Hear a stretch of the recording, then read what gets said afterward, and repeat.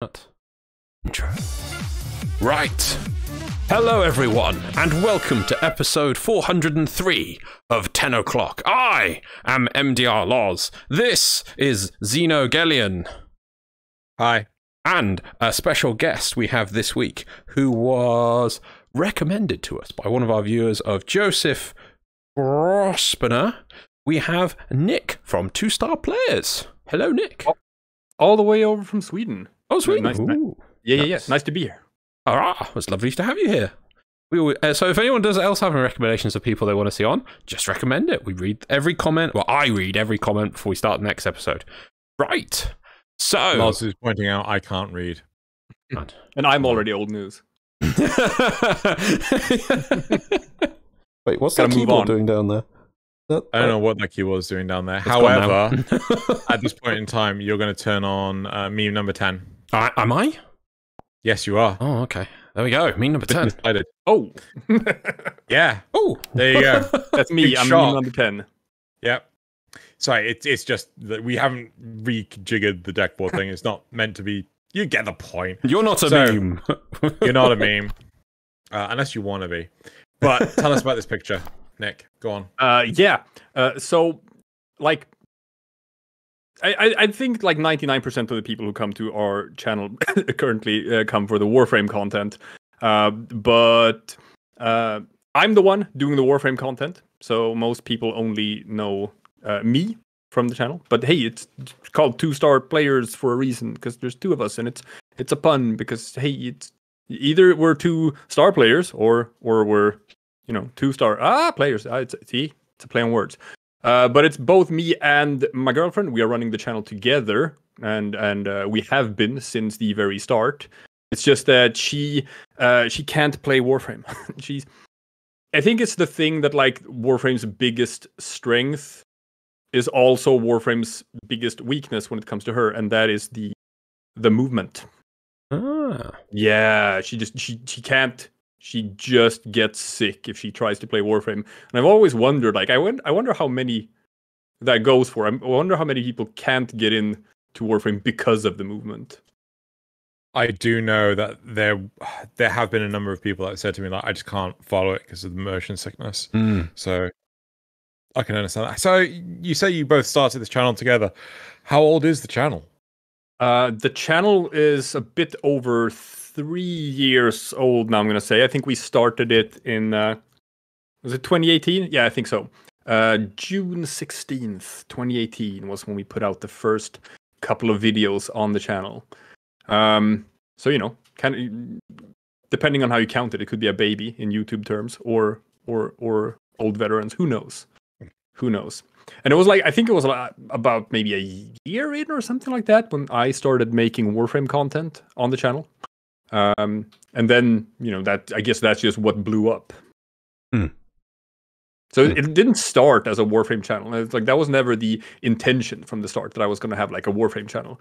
It started as a project, just a hobby project with me and my girlfriend, and something that we could do together because we're both gamers, and and it was just um, we were inspired by other channels that came before us and, and I just felt like I wanted to do my own thing as well and and she was along for the ride and and uh, we've been putting out videos pretty much every day since.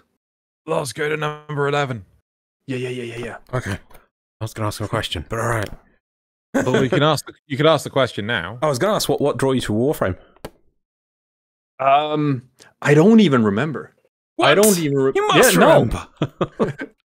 I don't even remember why I started playing Warframe. I think it might have been there. There was a best uh, a Let's Play channel that came before us. It called uh, Super Best Friends Play or Two Best Friends Play. Yes, um, yes, yeah, yeah, yeah. I remember. Uh, main main inspiration for me for for starting my own channel. That I modeled uh, like the channel after after them and stuff. And uh, one of those guys, Pat, one, one of the people in that group, I know he plays Warframe, and I think I watched him play Warframe on some Twitch stream or something. Thought it looked kind of interesting, and for some reason, like had had an opportunity to to jump on it myself later, and just didn't get hooked initially.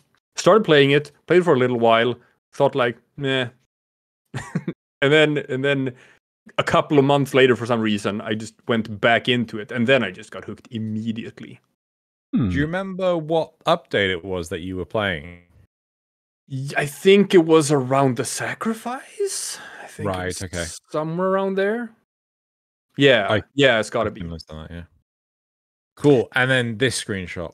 Yes, uh, because like I said, we it's not a Warframe channel that we have. Uh, it is it started as a variety channel, and we've like we played so many different games like from start to finish, and most of these are like almost all of them are me and Anna Mm. uh, playing Mhm. together. It's just kind of Warframe that's that's just me. Um, so so I always try to like whenever people I, I know that people show up at the channel right now because of the Warframe stuff. I know that's what's pulling in the viewers. But I always Mhm. try to like just make people sort of take an interest in the other stuff as well. Um, but some of it can be like a hard sell. Like if you if you if you take something like Hatoful Boyfriend, the the pigeon the pigeon based dating simulator, is like trying to get someone to watch that now and be like, oh yeah, no, it's it's like 82 episodes of Japanese pigeon based visual novel.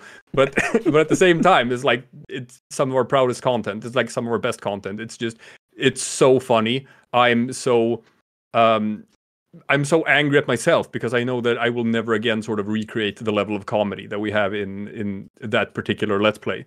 I can go to any episode in that entire thing and any part and go to any goddamn timestamp and just start laughing at listening to myself. It's, it's crazy. Um it was just ah but I can't get anyone else to watch it. You know what? The marketing, the the sales pitch right there. You've piqued my interest. If you are that enthusiastic Mm. for, you know, I'm gonna give it a go. I'm I'm gonna, yeah, That is- totally gonna watch is- this. That is amazing. Um, that was actually my sort of first foray into podcasting in a way because that LP, um, halfway through it, it basically turned into a podcast. Uh, it's just me and Anna sharing live stories and and chatting about whatever, and occasionally clicking buttons and moving the dialogue forward. I think there's like I think there's one episode in there where, where we don't actually click on a button for like the entire episode. Wow. Hmm. It's just us talking in front of a blank screen for for 20 minutes or so. It's great. It's some of our greatest content. See, I can't even I- I can't sell it. I can't sell it in a way where I'm gonna make anyone watch it. It's impossible. It's almost So like you've what- hidden it. You've hidden your best content behind a pigeon simulator. Yes. I mean, I gotta be honest. Like the the game on this screenshot that I mean, the fact that yourself, myself, and Loz are currently covering up at least three of them. Um, the game that I'm really surprised that's in this list is actually Giants Citizen Kabuto Mhm. because I remember playing that. Man, And it's got like some of the jankiest game engine stuff in there. What's but the comedy, the humor, I know. So is British. so yes, it is just so British. It's so funny. Yeah. No, that that was uh, that was Anna's thing. She grew up on that game because apparently, and I never knew this because I'd never heard of it before. Apparently, it was sort of big in Germany. Wow. Who knew? Who knew? Yeah. Anna's from Austria, so like, that, that's our thing. We we come from different countries, but uh, but yeah, she she uh, showed it to me, and I started playing it, and I was like, oh, oh, this is like Starsiege Tribes, or or like I guess it was like the, the precursor to it because this is older. Mm. Um, yeah, fantastic comedy. Can't do that sort of comedy today. a lot of jokes in that one do- wouldn't fly today, and and quite a lot of nudity that we had to sort of like edit out at times. yeah. Um. Oh god, what was the, the? There's one. Uh, the Overlord franchise. So Overlord one and two. Right. Uh, Codemasters. And yeah, that again, very British sense of humor. That's a good game. I imagine you can get it on Steam for quite cheap right now. But yeah, I do recommend that one. I should. I love British humor. Yep. Uh, Uh, I just I, I just went through a, like like a binge of just reading uh the it's not comedy really but like the boys comic book uh Mm. just based on the TV show and um I don't know it's, it's written by a British person so like just all the characters are written to have British accents and it's so Yep. weird when you read it and you create this British accent in your head when you're when you're reading like the dialogue lines and I'm like I'm probably doing like a terrible British accent in my head as I'm reading this. Right, uh, Loz, do you have any questions? Uh, you should play Hogs of War. if you want an That's old... not a question. No, but it was like if you want an old British game. I can't remember who was it who did all the voice for it though. Oh god, it was amazing. It's basically Hogs of War. Hogs of War. Yeah, it was basically like Worms in 3D, but it oh, has God, um, yeah, it was a oh, God, PlayStation game. ah. Rik Mayall. That's it. You've got Rik Mayall doing all the lines, and it is hilarious. He's, he's dead now, Oh, sadly, but it's I know you made me sad. oh no, but go, but go, but go play Hogs of War and hear him say some hilarious lines, and you'll feel better. Brilliant, old game but good. Sorry, yeah, it's just humour and gaming. We don't get that anymore, though. Do we have any British gaming studios? Oh yeah, we have a lot of British games. yeah, but do they produce British games, or do they just get told to make? No, no. it used to I'm pretty. I'm pretty sure Crytek is primarily British. They do actually have other studios around the world. I think there's one in France and there's one in uh, Canada. But I think Crytek was primarily British to begin with. Ah. But yeah, like British British humor doesn't get picked up much more in games anymore. Very shame. Um, and then yeah, number twelve. Probably zero, one, and two. I don't understand what you mean. Oh, Hey, now I was gonna say like uh, now for the main event, right? No, but the the war the Warframe stuff is obviously what people uh, come to the channel for, and that's why we're uh, growing. We're growing pretty fast right now. I'm gonna say, well, not not not like them big shots on YouTube. Them them them kids like Dream who get like them 12 million followers. None, none of that. Uh, but we're we're inching closer to 10,000 subscribers. Not Nice. that far away from there, and um, and I'm gonna say that like stuff like this. Uh, the the I put out close to it's over a hundred different just Warframe guide videos for various things. Stuff like roster reviews, stuff like uh, tips for new players, um, weapon build guides, uh, how to farm for various things.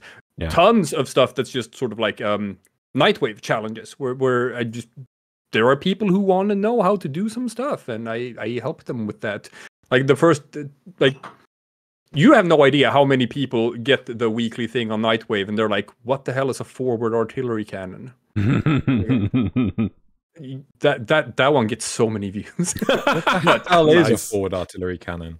Uh, it's in your railjack. It's The- how you destroy the cruise ships. big gun at the front. Oh, yeah, yeah, yeah. So that's I've like got- destroy, destroy a cruise ship with your forward artillery cannon, and, and so many people are like, I, I I don't know what that is. You see, like, yeah, if if you mentioned destroy a cruise ship, I'd be like, ah, this has nothing to do with railjack. yeah. I still have Um, no clue what it is. But I'm gonna say that that what I'm probably stand out the most with is the the Helminth build guides that I started making around the time when Heart of Deimos came out. Because I was just uh, as soon as they announced the Helminth system, I was just like, oh, this is me. This, I'm gonna I'm gonna deep dive into this. This is I'm such a theory crafter as, as a gamer, so this is right up my alley. And I want to find out ways of breaking the game if I can. I already have. I already had managed to create. I got one thing nerfed based on a video I did.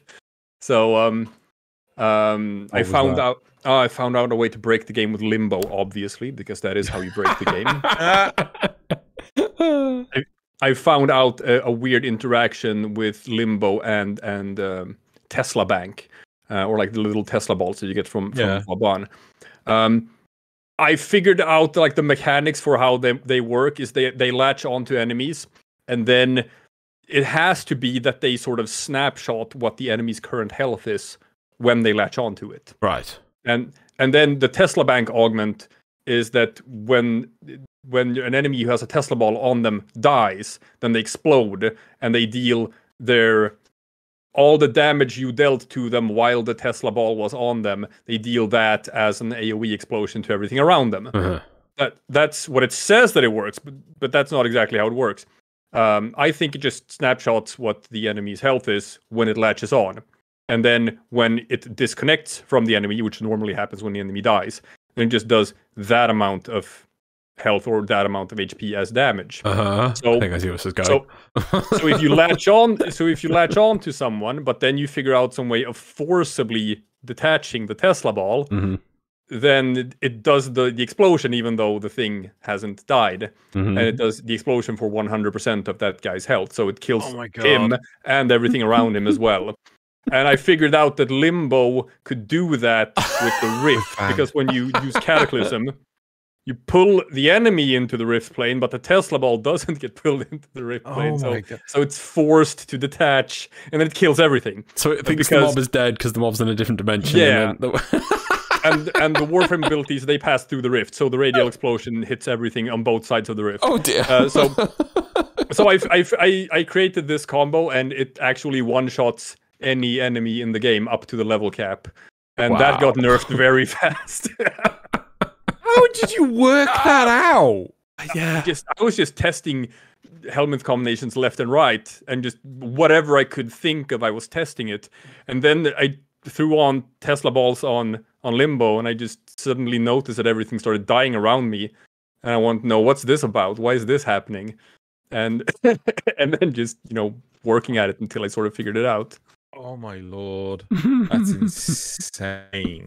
Yeah, I found out another fun one with uh, Garuda as well, where just like Reave and Garuda, you can kill everything in the game too. Um, some of these is like I have one or two that I'm keeping to myself because if I actually were to make a video about it, it would get nerfed. nice. Um, but it's fun. It's a fun ho- hobby, just coming up with Helminth combination and making these Helminth build guides. And and I've uh, made a couple of them that have been been quite popular. For example, Gloom Equinox. Gloom Equinox is is that that ability was made for Equinox, not for not for Sevagoth. It is it shores up every single weakness that Equinox has, and it synergizes perfectly with Equinox's toolkit. It's it's a match made in heaven. Can you remind me what Gloom does? Because I remember thinking of this for Oberon. Yeah, gloom. Uh, it's an aura. It uh, makes it so all of your attacks have lifesteal inside of that aura, and it also slows enemies inside the aura. Um, Equinox already has. It is also like a drain over time ability. Equinox Yeah. already has a bunch of drain over time stuff. If you're doing day form Equinox, with like you're just doing the maim thing and you're just hurting everything around you. Yeah. Um, so not only are you hurting everything around you, all of those attacks also cause life steal now, which is where you're currently you're always at max health because you're always hurting everything around you and draining health from Mhm. everything around you like passively. You don't even have to do anything. And the cool part is that anything that gets win- within Equinox's day form aura or whatever, it gets stunned for a little bit Mhm. uh, as as the slash procs start ticking in. And Gloom also makes it so that stun animation goes in slow motion, uh, which means that enemies are basically just stun locked. yeah. They can't they can't move. They can't do anything. They can't shoot at you. And um, and Equinox also has you know abilities that can make him her uh, increase her own power strength. So you can just Mm. make the slow effect even stronger. Uh, otherwise, like Equinox has always been a good damage dealer, but way too squishy for Steel Path. She just Yeah. dies immediately. But not with Gloom, because you're just not getting hit because nothing, everything is frozen in time around you. And if you do take a single hit or whatever, you're just constantly life stealing everything around you as well. So you're kind of immortal almost. Super fun. Damn. Also works against uh, Corpus Liches and Sisters of Parvos. They also get like stun locked. Loz, do you have any questions? I'm just staring at Gloom, being like, "Wow." I, I just don't. I don't know. Maybe maybe it's got to. I, I put put put like Helminth options in a bag and then put a, a list of warframes in a bag and pull them out and have a go because I just don't get how people just think about warframes like this anymore. For me, it's just like Excalibur. Yeah, I know, I know, but but this is. I didn't, I didn't before the Helminth system came out. But Right. this has just been this has upped my game so Right. much. Uh, just uh, experimenting and theory crafting, and like you have no idea how much work goes into just a single helminth build guide. Like step one, scour YouTube, look at what's already been done to make just not be a copycat and whatever. If someone's already done a video about a certain combination, then I don't want to do the same thing yeah. and then get a rough idea about what might work or whatever. Then you jump into the game, you level up that Warframe seven or eight times, and you form it seven or eight times, and you throw in like an Umbra form or something. Scour over the wiki, learn how every single ability works, how everything interacts with everything else. Then you go into theory crafting, trying out different Helminth ideas you had in your head, seeing what works in practice, what doesn't. And if it's good enough and makes the cut, I'll make a video about it. So for every for every one of these Helminth build guides, there's like the five or six projects that I spent an entire week on that just didn't lead to anything. Hmm. Crazy, absolutely crazy. um, I know Loz had a question before we started recording. Aye. Um, yeah, it was uh, the divide. Ah, Series. Oh, Yeah, This is- no, no, I, I don't only do guide videos. I also do um, the occasional sort of just I don't know meta commentary piece. I try not to engage too much in that sort of stuff because I I don't know. I don't know. I think most most of the time when you talk about like sort of meta Warframe commentary, it has this sort of brand of negativity to it almost because the the, the Warframe content creators who do sort of have that as their bread and butter tend to be more on the critical and, and negative side. And that's not me. That's not me. I'm, I'm always trying to have like a super positive outlook on everything.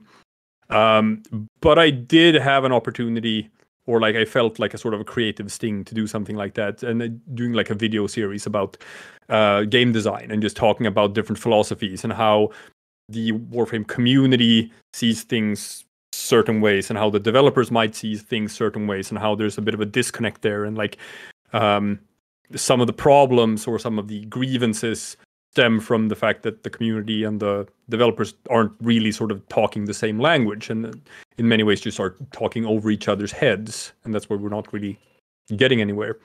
Um, but i did that video series when I was kind of sort of like a bit down and a bit lonely actually, and and had some stuff in my private life going on, and sort of like it felt like a nice thing to tap into. It was sort of like I don't know if it was a distraction or if it was just like something I needed then. Um, I felt like now that I'm I'm in a very much sort of happier place, I don't really feel the same sort of creative urge to continue with that. So I, I guess that's I guess that's something I do when I'm feeling down or in a bad mood. I'm gonna pick that series up again. Just like Warframe itself.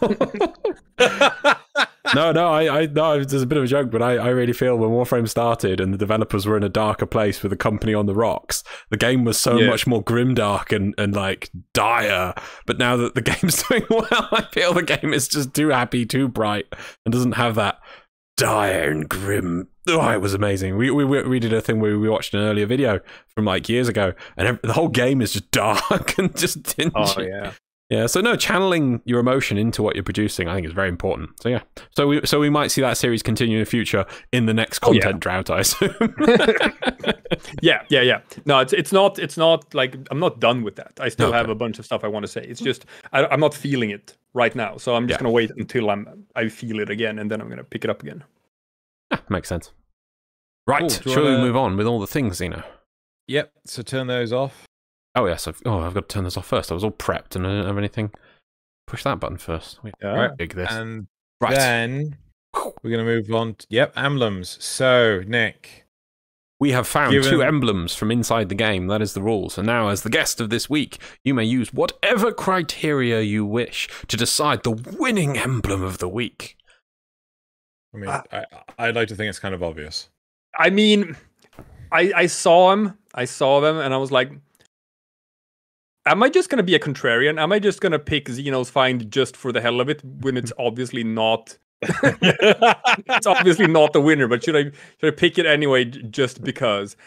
Because um, the other one with the with the volcano on the on the uh, atoll or, or whatever it is with uh with uh Steven Scott, right? It's got to be. yeah. yeah. Yeah, no, it's it's that is the best goddamn emblem I've ever seen.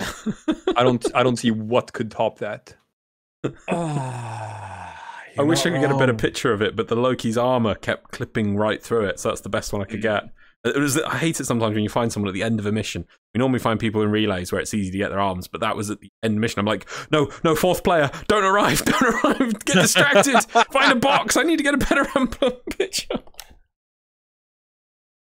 Right. Right. Well, if you wish to win 75 platinum for your platform of choice, go into the description below where you'll find a link to this week's polls and uh, these emblems. So, you know, fill in the form and you'll automatically be entered in for your chance to win 75 platinum, courtesy of Digital Extremes. And make sure you get your in game name correct because if it's wrong, and DE say, "Hey, Xeno,"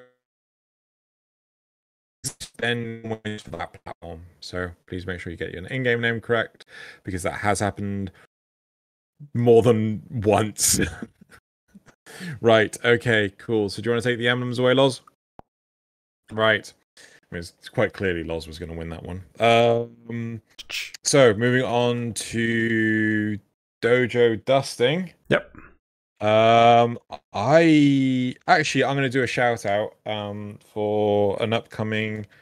I don't know if we've spoken about it on here, Loz. Um, the anime podcast. You've we're gonna mentioned you're going to be doing a podcast. You have. Yep. You don't So- do vlogs anymore. This is now your vlog space, apparently. While we're talking about um, Warframe. just- just- just like- well, anyway, if you like anime and you're interested, uh, on the oh god, the twentieth of August will be the first episode of a new anime themed podcast featuring myself, Loz, and Nazeth. Uh, a lot of work, too much work potentially, has gone into uh, putting that thing together. Um, and yeah, I mean, some of that stuff could make its way back into Tenno Clock. But yeah, check it out. Uh, 20th of. Why, why, why are you giggling to yourself? Oh, because well, because with Warframe, I'll, I'll take a dig at you. Of should Xeno continue doing the Warframe machinimas he complains he doesn't have time for, or should he take the time he apparently doesn't have and make another podcast? That's what I complain. There we go. But anyway, check out that if you want anime. Well, I'm sure we'll when it's up, we'll we'll link it everywhere. Anyway, Cool. Uh, now on to the war report. Yeah, so what's happening in Warframe this week? So if people aren't aware, the Nightwave, the next Nightwave chapter, the intermission is over, everyone. We're now on to Nora's Choice, the next saga in the Nightwave sequence. And it's another intermission. I'm sorry, it's just an intermission. Ah, just with less Umbra Formas for once. Just, I don't know. Oh well, but then we've got a refresh list basically for now. I, I assume basically all effort is going onto the new war. They don't have time to come up with even a bare bones story for this one, even though I'm sure the three of us could probably sit together for 10 minutes and come up with some very low effort story that would be, uh, you know, to, to go in a Nightwave. It doesn't have to be complex and have something, but I think they have scope creep every time they come up with a small concept like the last one. It just keeps getting bigger and bigger. But oh well, we got another Nightwave intermission, so everyone get back to grinding if you were done. There's always good stuff. But also, just to let people know, Prime Vault, Rhino Prime, and Nyx Prime are going to come out again on August 10th. Uh, that's going to be uh, obviously Nyx and Rhino, and I think it's got Boltor Prime, Hikou Prime, Scindo Prime. I can never remember the name of Rhino's Prime Sign Sindana, even though I wear it all the time. And the Targris armor set, that's going to be in that. And also, Zephyr Prime and Chroma Prime are going to be going back into the vault. So if you want to get those, that's your last chance on those. So that's August 10th. This will think comes out on August 9th. So if you get if you listen to this on the day of release, most people do, then you've got one day to get that sorted. So that's all that's going on in Warframe at the moment because we're just sitting around waiting for the next dev stream. Which when when will that be? Anyone take some bets? End of this August? month, probably. yeah. Yeah. Oh, yeah. And I mean, I, I'm I'm I'm gonna be surprised if they even put out any new Nightwave challenges, and or if it's just gonna be exactly the same as we've had now. Yeah. Because maybe it's like, oh, are you going to put out a challenge for like maybe defeat a sister of Parvos? I don't think so. I don't think we're going to get a single new challenge. Is there ones that say defeat a lich? Yes. Uh, those Killer might get updated. They might be just because it, it, it probably just is in the database. It probably counts them as the same thing anyway. So I bet those will just be updated, but there won't be separate ones for them. I doubt. Mm, they should should be yeah. separate ones. Yeah, it should be. But uh, like you're saying, I think this is just a reskin. yeah, I mean, if, if you look at if you go to Nora's radio and stuff like that, they didn't even get a new uh, icon for Nora's choice. It's still using the intermission icon. Oh, what really on the history list? yeah, of- yeah, yeah. Oh, come on. So At it, least it, it did the last time I checked. was, it, it literally is intermission in all but name. Yeah, yeah. But like, I Steve Steve talked about it on dev streams. Where like the the coming up with new stuff for Nightwave has become sort of like a bigger project than they thought it would be. I don't know. But, But, it's their um, own fault. It it doesn't need to be. The thing is, it could just be a small story, right? But they always try and add something new to it. Oh, we've got to have it have a final fight or a final mission. It doesn't. It doesn't need that. It literally could just be the bit where you have people attacking you each uh, week, and you just defeat them. There we go. There's a new faction of uh, Grineer Special Forces, and you just they just turn up in some of your missions, and you kill them, and eventually, yeah, you kill them all. There we go. No, no, no special summary and special boss, the special level. No, no, no, no. Just you kill them all. But on the flip side, then you could just like, yeah, but if it's going to be on that sort of basic level, then then why even why even have a story? why not just do another intermission? Yeah, but, oh, oh, it just put a, maybe a little bit of text. You know, that's all it needs. It doesn't, or a, a few voice lines. But they always go, oh, and then we need a boss level. Oh, and then we better have this new mechanic where you're scanning through missions. Oh, yeah, we better put this new thing with this new boss with three new weapons and a new operator skin. Like, just. Well, oh. I, I, I feel that when the question of like, oh, well, should put some audio lines in. Oh, well, we might as well put a boss fight in. Just well. put a boss fight. in. Oh, let's come up with new mechanics for that boss fight. Oh, let's make a whole new tile set for that boss fight. I mean, if we didn't put in this scripted audio, do you reckon we wouldn't do any of this stuff? Yeah. So it's just scripted audio that's making us do this stuff. Yeah. Because for the for historic reasons, Nik, it's the same thing they did something years ago called tactical alerts, which do occasionally pop up now and then. And that was supposed to be oh, just a little bit of weekend content. Just, and the first one was literally just like it's live, and you got a text thing about I think Yeah. ghouls or something are attacking, and that's it. Just a box text.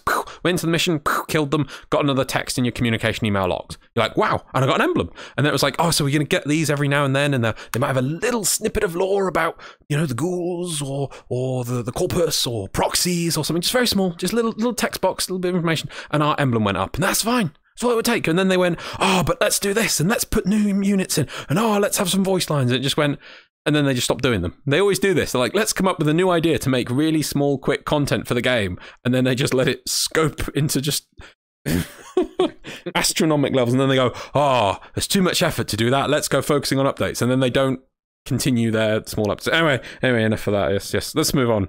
Where are we up to? On a on a, a slight tangent, on a slight tangent. Um, would you say that the the wolf uh, of Saturn Six hunt Yeah. is a tactical alert? The Wolf of Saturn would- Six Hunt is a tactical alert. Yeah. This, what you so- mean with so like basi- wolf beacons and stuff? Yeah. Well, so, so basically, I thought, you know what? I'll just jump into the wiki and have a look at when the last tactical alert was. Yeah. And the wiki has stuff like dog days, um, hallowed flame. I don't know which one hallowed flame is. I think they literally just Oh, count any event that's an event Yeah. as a tactical alert, unless it's an operation now. I think that's how the wiki's doing it. Because it did get to the point that, like, Christmas thing. So some things are tactical alerts and do actually reward an increase in your status stat, Stratos emblem, and then some things Yeah. don't. But sometimes they're called a tactical alert, even though they don't offer a Stratos emblem. Like, and then sometimes at Christmas there was like literally just three missions. Just like uh, each mission was go get, and you got a Christmas emblem or something, and they counted as three separate Stratos and emblems. stuff like that. Yeah, Yeah, yeah, yeah, yeah. But they actually counted as individual Stratos emblems Really? in Hmm. one. Yeah, it was ridiculous. It, so they lost track of what the purpose of it was, and it was just just bleh now. Hmm. Anything's just bloody thing.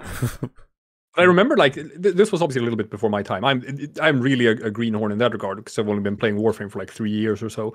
Uh, so so that was after the tactical alerts or whatever ended. But I, I remember the big complaint being, or when I read read up about it, um, that it was just time gated. Whereas like people didn't like the fact that like oh it's so easy to just miss out on it if you just didn't happen to be online when the when the alert popped up. Yeah. Um, so I don't know. I don't know if I had a point with that. Just that I, I like the idea why of they stopped. yeah, I like the idea of Nightwave as a concept. I like the idea of transferring it to to uh, to a more you can choose for yourself when you want to do it sort of thing. Hmm. Um, but I don't I don't know what the like what what's the proper amount of effort you should put into it. If people are going to engage with it and just do it anyway, then I guess like just mission successful, right? Hmm. because it might be that like Nightwave has probably been successful in just driving up player engagement, and it's it's also been like super important. I, I feel. I remember like when I started playing Warframe, that was like right when Nightwave first came out, season one of Nightwave, uh, with like uh, Wolf of Saturn Six. I learned so much of the game from playing Nightwave, uh, of just as a new player, even discovering all the different things that exist in the game, and like oh it says I should play night nightmare missions this week. What's that? And then I go and sort of like look that up and stuff. It's just uh, Nightwave was as a new player was effectively my tutorial in how to play the game. Right, so it was pushing you towards different aspects of the game Yeah, that you weren't aware yeah. of. Oh, that's fair. That's fair. For, for so, just just again to do an old school this is this is the third. I, I said obviously about uh, tactical alerts, and there's obviously Nightwave, but then this is the third attempt of them to put in a small small easy form content to add lore. The first one was the uh, you know Simaris and scanning. Oh yeah, yeah, yeah, yeah. yeah. The, But that's the- just codex entries, right? It is, but originally it was like a whole community-driven event where he would say you must scan this hmm. target, and there was like a bar, and everyone everyone had to contribute to leveling up this bar. And when you finished it, we got a special lore entry that would give us some story, and you can read those stories, and they're really good. They really Yeah. allude to different things here and then. But I don't know if it's Steve, or we don't know if it's Steve who writes them, whatever. But it's clearly like it, what happened is the first like three or four were fine, and the fifth one we finished the bar, but it took like two weeks for us to get the law entry. It said like processing because obviously they hadn't finished it, and then the next one was even later, and then they just gave up. So it's like this is the third attempt of them to put like, oh, we'll just put some small easy content and just snippets of lore, and then it always breaks down after a after a, a number of iterations. It's just like, oh, they just ca- there's, there's some there's some something in the design process that just always makes it fall to pieces. We don't know what it is. Anyway, we got we got show to you know this this is great, but we got to organize. Yeah. Was full conversation. Yeah, okay. So let's. Uh, We're yeah, let's- let's- professionals. let's um what shall fix this train back on the rails and move on to topics so god i thought i said 56 for a second Oh. so Hang on a minute. uh what gonna pause. Go. Right, yes, topics, they're updated. Yeah, I know what I'm doing. yeah so topic one Cetus and Fortuna are the only places where I feel like a good guy. And topic two is modding Kuva weapons. So, back into the first topic. Back in, yep, cool. Uh, Tenno are supposed to be secret ops vigilante heroes, and we certainly do a lot of cool missions. But they're rarely, but they rarely feel like but they rarely feel like we're actually they and we oh, brain actually making sorry but actually but they rarely feel like we're actually making a difference Mm. despite the hate towards disruption it's one of the few game modes that has someone other than the lotus telling us what uh, why we're helping I'm not sure about that one. We're out there protecting their livelihoods against tangible villains and getting sorry, and the rewards are doing so Or doing so. for doing so. Sorry, my brain is just breaking. I'm gonna slow down. I'm gonna slow down. And the rewards for doing so come from the people we help instead of being a vaguely alluded to thing that happens to land in our inventory. I wish more of the game made me feel like a hero instead of being arcadey excuses to blow up things. Blow things up. Like No. I'm gonna I'm gonna go against a bit the idea that that the warframes are heroes because I don't th- I don't think I don't think they are at all. Like, warframes are basically mercenaries where you just you you point them at something and that thing disappears. We never ask questions. we never ask if if if the people we're shooting are are guilty or innocent. They point the gun at the thing, we being the gun, and the the, the thing stops existing. And that's that's sort of the point of warframes. So So- of guns don't kill people, it's warframes don't kill people. Tenno. Do you have any idea how many of these corpus crewmen are just a guy sitting down at the morning having his morning coffee yep. and it's just, hey, guess what? Your kids ain't gonna see dad tonight. All right. Yep. It's the argument of like, uh, oh, some of those stormtroopers on the Death Star were just innocent people doing their job, but no, they weren't. They knew what they were working at. They knew what the Death Star was. It's called the Death the Death Star. They know what it's for. but uh, but um, but in this case, it's just, it's just corpus guys. They're just like not all of them are Nef Anyo. Not all of them are these like sort of hyper capitalistic like uh, monsters or whatever. It's just some dudes, and this is their lot in life. We don't care. They're in our way. Saying that, we don't actually know the name of the Corpus ships we go on. I mean, we know they're like one's called a, the brand, like one's a Corpus Pillar. Um, I can't remember Yeah, the name yeah. of the other one. But there might be like this Corpus Pillar is called Death Machine, and this one's called Murderbot Twenty Two Thousand. Like, okay, I'm being transferred over to the Murderbot Two Thousand today. No, no, it's got to be the corpus thing. It's got to be like hostile takeover stuff like that. Yes, yeah, yeah, yeah. Aggressive. Yes, yeah, yeah. Aggressive takeover, aggressive mergers. Yeah, yeah. Union Buster. Micro transaction. Oh dear, my oh. face. Oh, Oh god, it's good that it's digital. Right. Okay. I, yeah. I, I am in agreement. Like, since when are we heroes? Like, heroes don't murder people, right? Anti-heroes do, sure, but that's supposed to be the Western definition between a hero and an anti-hero.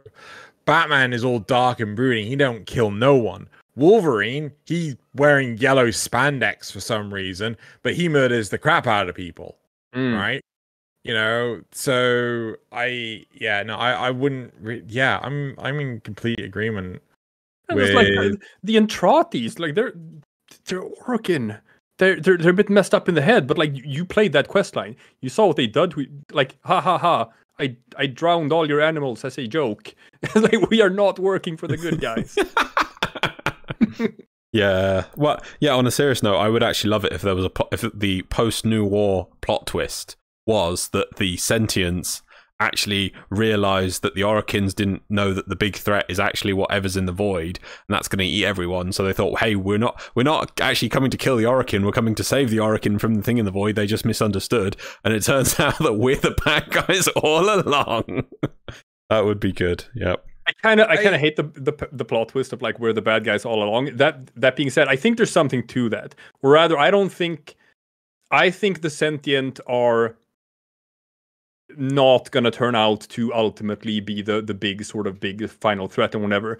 Uh, They've been kind of clear on the fact that the new war has an end, and the Duviri paradox is supposed to come after Yeah. new war. So I, I think they're gonna move on to the man in the wall after the sentients are like just that's that story's over now. My question for you though is you know again we were talking before uh, we started recording and we were talking about um, our interest in Blizzard games and things. But like, um, I think your girlfriend get this. Is it Anna? Is that her Yeah. name? Yeah, Anna. I think Anna would get this um more. But like the fact that we end up fighting uh Sargeras in World of Warcraft, we we are literally fighting a fucking god, right? Um, I, oh, I, I'm sorry. I'm sorry. I have to cut you off there. I thought I thought you were gonna go in a super different direction. I thought you were gonna be like, so since we're talking about uh, turning out that oh we're the baddies, your girlfriend being German probably understands where I'm coming. no, I was gonna do that. no, whoa, whoa, Why would you whoa. Go there? No, no, I'm not going down that rabbit hole. I mean, no. No, My my my my point is I thought that she, she was Austrian. He's born in Germany, but moved to Austria at like two years old or something. regardless, same thing. Same thing. still, same thing. still avoiding this political quagmire. Um, my my point is that personally, I would never want to fight Wally. I would never want to physically Mm. encounter Wally. You know, Wally? if if oh sorry, The man in the wall. Yeah, it um, it's the forums Reddit term for the man in the wall. ah, Sorry, I keep forgetting that. Um, yeah, so I would never want to encounter the man in the wall um, in a combat sense. Maybe if the man in the wall ripped my Tenno out of the warframe to say, I'm bigger, more powerful than you, fuck off, and then flicked me to the side, sure, right? But I'd never want to fight the man in that's the power fantasy that is just beyond ludicrous. That's the that's the that's always the problem because in this case, like I don't think you can because I think the man in the wall isn't it doesn't have any sort of singular form or whatever. It it my theory is somehow that the void is kind of a mirror universe to our own universe because whenever anyone steps into the void it seems like they goddamn they meet themselves but a different version of themselves. Um, we'll we'll find out where they're gonna go with that but that seems to be a recurring theme. We did it. Albrecht Entrati uh, had the same thing experienced too where he didn't even know which one was the real one and which one was the the mirror one. But um um that they're gonna go somewhere with their with that that's gonna be a thing. But um that's always a problem right? When you introduce this sort of weird not well, the lovecraftian co- cosmic horror thing right? Don't show the monster. It's it's only scary the monster is only scary until you show it. And then you show it it's just a big thing with tentacles and you shoot it with a gun and it dies Yeah. and all the mystique is gone. And i don't know how they're gonna like get around that, but clearly they they can't have a traditional boss fight. I don't think that would work. Like, what, what's the point of that? Well, they could do it, but it would just be a big letdown. Yeah. Yeah. I want to see something different. I want to see what, like they did in Witcher 2. The Witcher 2 is the coolest game in uh, in existence because you have the option to not have the final boss fight. Ah, Spoilers for a very old game. You have the option to just sit down and have a two-hour-long conversation with the antagonist instead, and then you both agree that oh, it's it's super pointless for us to fight each other, so let's just not. oh yeah, then the you, game you, ends. you can do that in Fallout one or two. Yeah, you can just Oh, if you have is it one? No, I think it's one. You can just convince the end boss if you have good enough, uh, you know, uh, conversation stats. Just be like, "Why fight?" and they go, "Oh yeah, that's a pretty bad idea. Yeah, I'll go with you." In fact, I think you can do the entire Fallout one without killing anyone. Apart from, I think you have to kill like a couple of rats or something at the start, and that's it. And then after that, you can just convince the entire game by just going, "Let's talk this out." And it's like, "Yeah, I'll give you that power armor. Yeah, I'll not fight these people. Yeah, I'll give you this water chip. Yeah, these mutants will get on with the humans." it's just you can just you convince everyone of everything. So yeah, this is good when games do that. But I'm not sure how they do that with Warframe. It'd be like, I was gonna ask, do you think they can do that in Warframe? Do you think you can pitch that to the player base where it's like, oh yeah, we're just the, big sort of climax to this thing is actually not gonna be combat. Like that- that would that would that work? But as as a game as a service, would you even want to have a climax? I mean, like No. with games like you know Witcher and stuff, it makes sense to have a, because it's supposed to have an end to the narrative. But what were you going to say, Loz? I would say I don't think you could quite do it that way, but you could make it. It'd be interesting if the game ended with a choice where it's like kill the big bad or not kill the big bad. So either way, and you have to actually defend against other players or against NPC versions of other players to either kill or not kill the big thing. That that would be either option. It would have to be options based on our ability to fight. I think because the game is not set up or any other methods of dealing with things that are not the end of a gun. So you have to come up with ways of using that in different ways. Is the only way to do it. But like, how do you introduce player choice where it has to have like permanence and it's gonna affect like future events and stuff? That's always the issue of of just like Yeah. What if I choose one thing and you choose another thing, and then we have an event in the future that's dependent on what you chose, and how is that gonna work? Well, the the sensible thing, which I think they've already they tried that with the War Within, and they I think Steve said, yeah, I wish we didn't do that. Is especially because they picked options. It- What what you need to do is that the outcomes are the same, but your character's method of executing that is different. So, for instance, the the at the end of War Within, spoilers, whatever, with the, when you you know the Worm Queen, either you kill it or Teshin kills it. So either way, Yeah. the outcome is the same for the character being dead, so the narrative can continue. But it's just more how your player interacted with the option, more than just. Instead, they went with like I think you can let her live or something on some of the options. Yeah.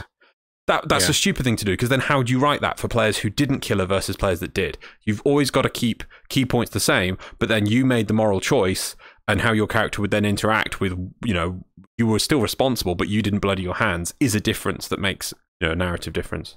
That's it's only a difference on a it's only a difference on a personal level. It's not gonna like it's just how you feel about your own character. It's Yeah. the telltale method of like the illusion of choice instead of actual choice. Well, no, because you you can make it affect things. You know, you you can make it that different that different players have different audio lines, but the events for levels are the same. But it means that you change it subtly, the, the, and you could change the, the the rewards that you get. That's it is. I, I agree with you though. You don't want to make it that the choice is completely pointless. I remember playing what was the Star Wars MMO. Oh, the the Old Republic. I remember playing. Yeah. My friend, Hmm. my brother was playing. We are playing literally the same quest. He did the light side one. I did the dark side options. I was threatening the guy, this this this person, we're doing the same quest. He's like, "Oh, I'll help you for free," and I was like, "You better give me some more money. You better pay up because I'm not doing this for free." And I'm like, "Okay, okay, I'll give you some more stuff." And then we look, we looked at our reward screen, and they were identical. So what was Yeah. the point? it was like, "You better So- give me some more money. I'll give you some more money," and the same. That, that that's where it becomes pointless.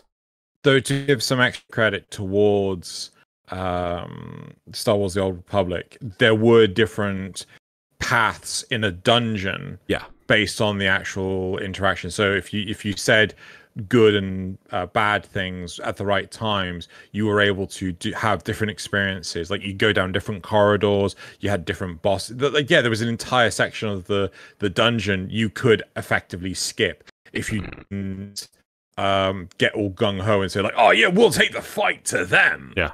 You know, instead of but oh, none of we'll those- save. None of those changes had a bigger impact beyond the dungeon, did they? That's yeah, that's the problem That- with Warframe, where they would. I will say, though, I like your idea of making it so that all, all the roads converge to the same point. I fully feel that. Well, that that's not choice. If if basically no matter what I do, we get the same outcome. I think it's important to in the delivery. Um, maybe this is what you were saying, and I didn't understand it. Hmm. But maybe there are the three options: one, you kill her; two, Teshin kills her; or three, she tries to kill you, Yeah. but instead Teshin defends you and kills her. Yeah, so in that option, Right. yeah, she she um you know Teshin goes uh, no he's like you know oh you've beaten me I, I, uh, you you kill me kill me Antenna and your character goes no so Teshin goes I'll do it and then your character stops Teshin and then the the Worm Queen becomes insulted and then leaps at you to try and go well I'll kill you then and then Yeah. dies through a mix of things so it's not quite yeah so either way dead but just variants of it. Yeah. But I mean, I would also give like those different wards would give different, let's say, uh, ephemeras. So the good player would get a glowing white orb around them, whereas the evil player gets just hovering orbs of blood. You know, so you can represent and feel like you have obtained something differently. They also did try it with. I like that. they did. They did try and do that sort of thing with the. What was the quest with the little girl? Glast Gambit.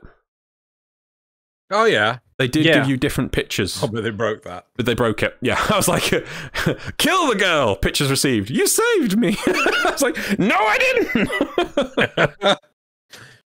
You got good uh, boy points. I was like, "Yeah, that they they did fix it in the end, I think, but I didn't. They didn't change the pictures, but they fixed the wheel because my wheel was off. I, I think they're not going to do that at all anymore, though.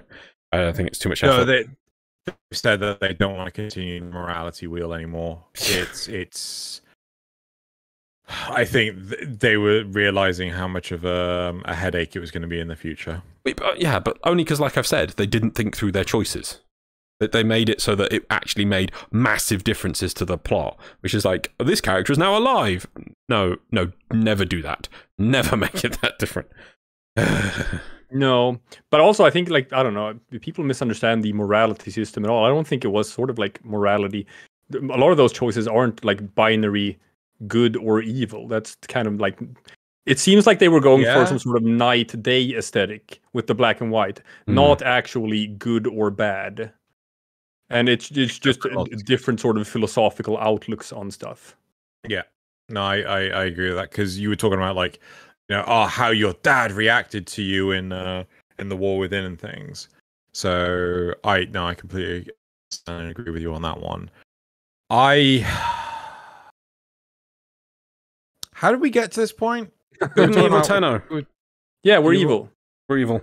We're not the good guys. We're the Yep. baddies. Maybe. Well, as a random What point, guys.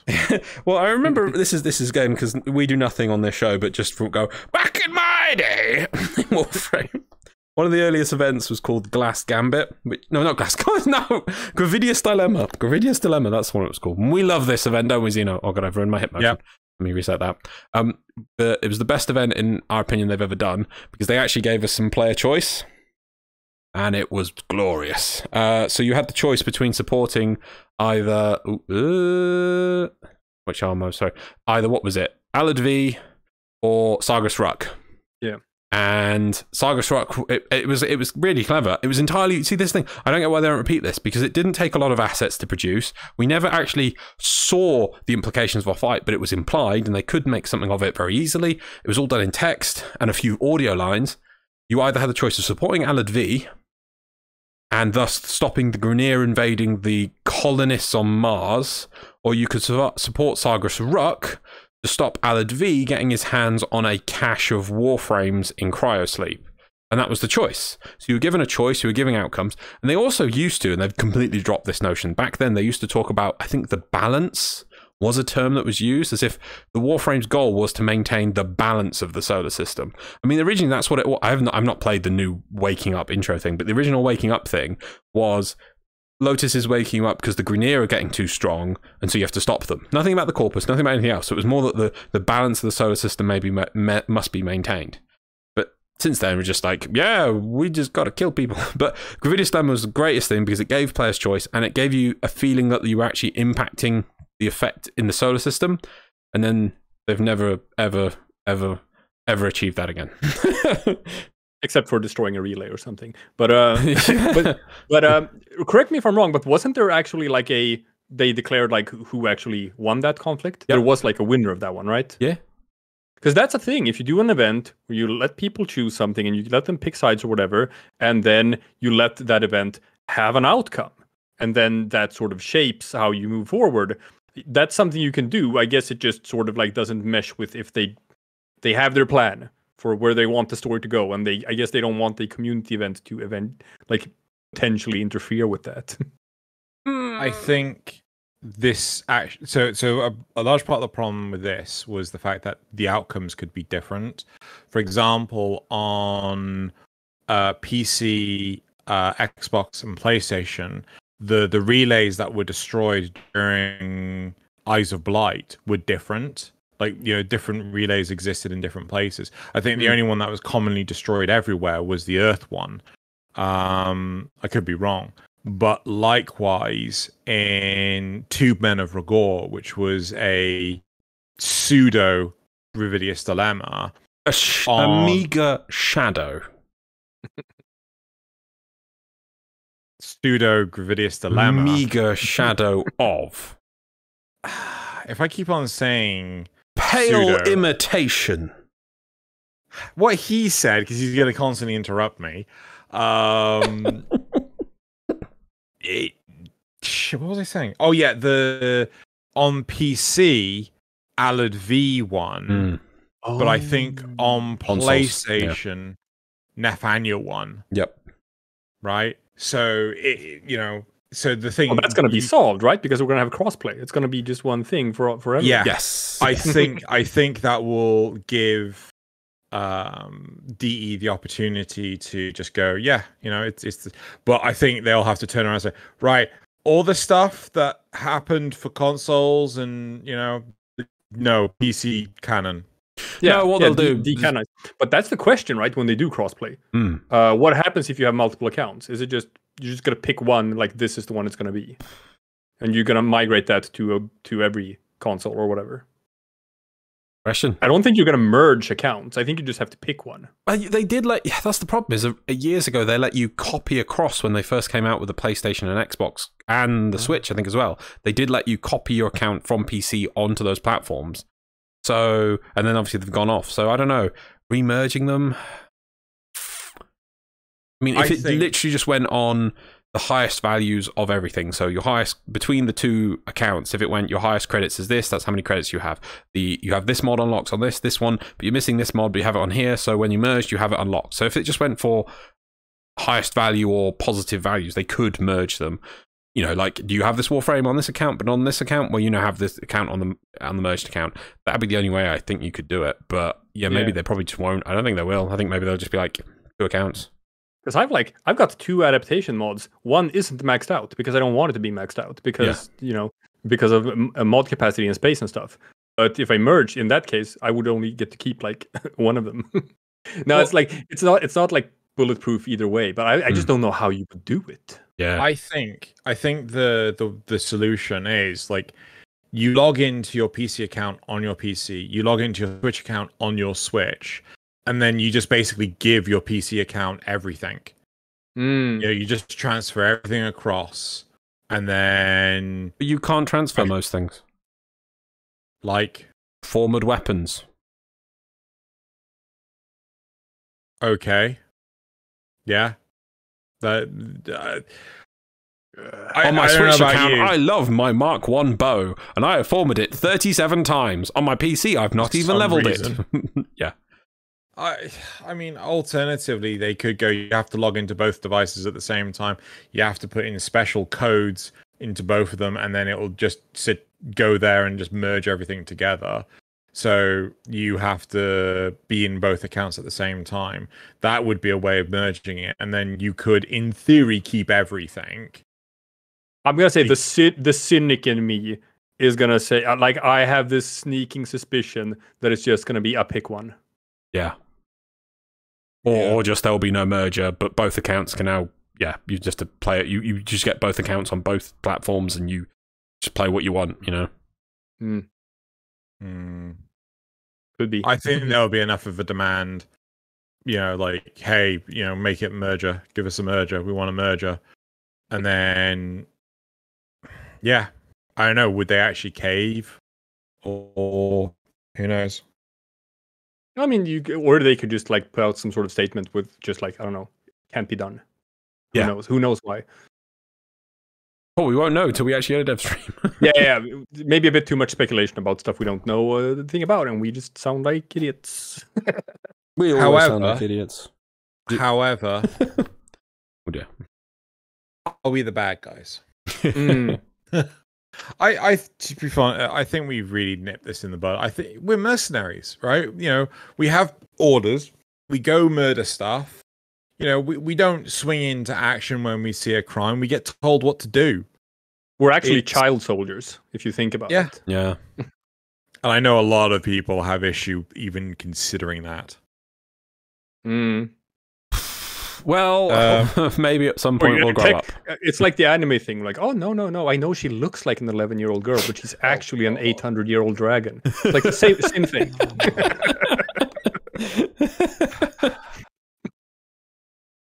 Anyway, uh, you should, we should, to should never invited me on. the... no, it's awesome. Oh, it's lovely. Yeah, I it's lovely suppose having technically Tenno must be thousands of years old. It's Well, gotta mean, it- here's the question for you, yeah. right? Do not invite this, Drew. When you are cryogenically frozen, Fine. right? Are you can still considered aging? You're not experiencing this no, no, is an no, but important seriously. question. right. You you're you're not experiencing life, right? Your cells are not getting any older, right? You know, you're not producing new cells. You are frozen. You are in a Yeah. uh, state of suspended animation, right? Could you be considered getting older? Hmm. Well, you have the demolition man clause, which is that he was actually awake for the entire time he was cryofrozen, so he was Yeah. just trapped in In- his mind with his thoughts for hundreds of years. In that case, I would say yes, you are still getting older, right?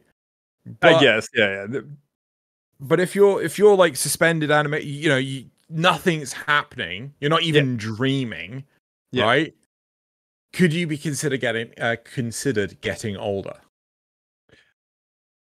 But you've also it's the same sort of problem you have if you travel faster than light when the person say standing on Earth versus somebody who goes and travels ridiculous fast on the speed of light for a bit and comes back, time will actually be different for them. So I think the person who travels faster light will actually travel to the future, like you know they'll, they'll have gone let's say 200 years into the future, but for them it was just a 10 minute quick dash back and forward, and the person on Earth Sure. hasn't changed. So you know, sorry, they're 800 years older now. So it's like how do you? according to the records on Earth, this person now 800. Actually, they're still 12. I don't know. You know, it. Yeah, it's it, who knows? Who knows? anyway, let's go to replies. We work out if child soldiers are legal if they travel through cryosleep. Oh my god!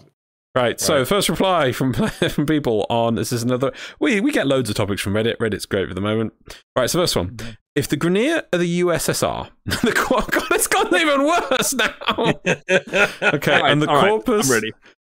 if the Grineer of the USSR and the corpus of the US, I guess that would make the Tenno ISIS. Yep, we're space ISIS. We take weapons of the old war and turn it against our creators to make a better life for the system. See, I think the Oh. Grineer are so cool because the Grineer are actually not the USSR at all.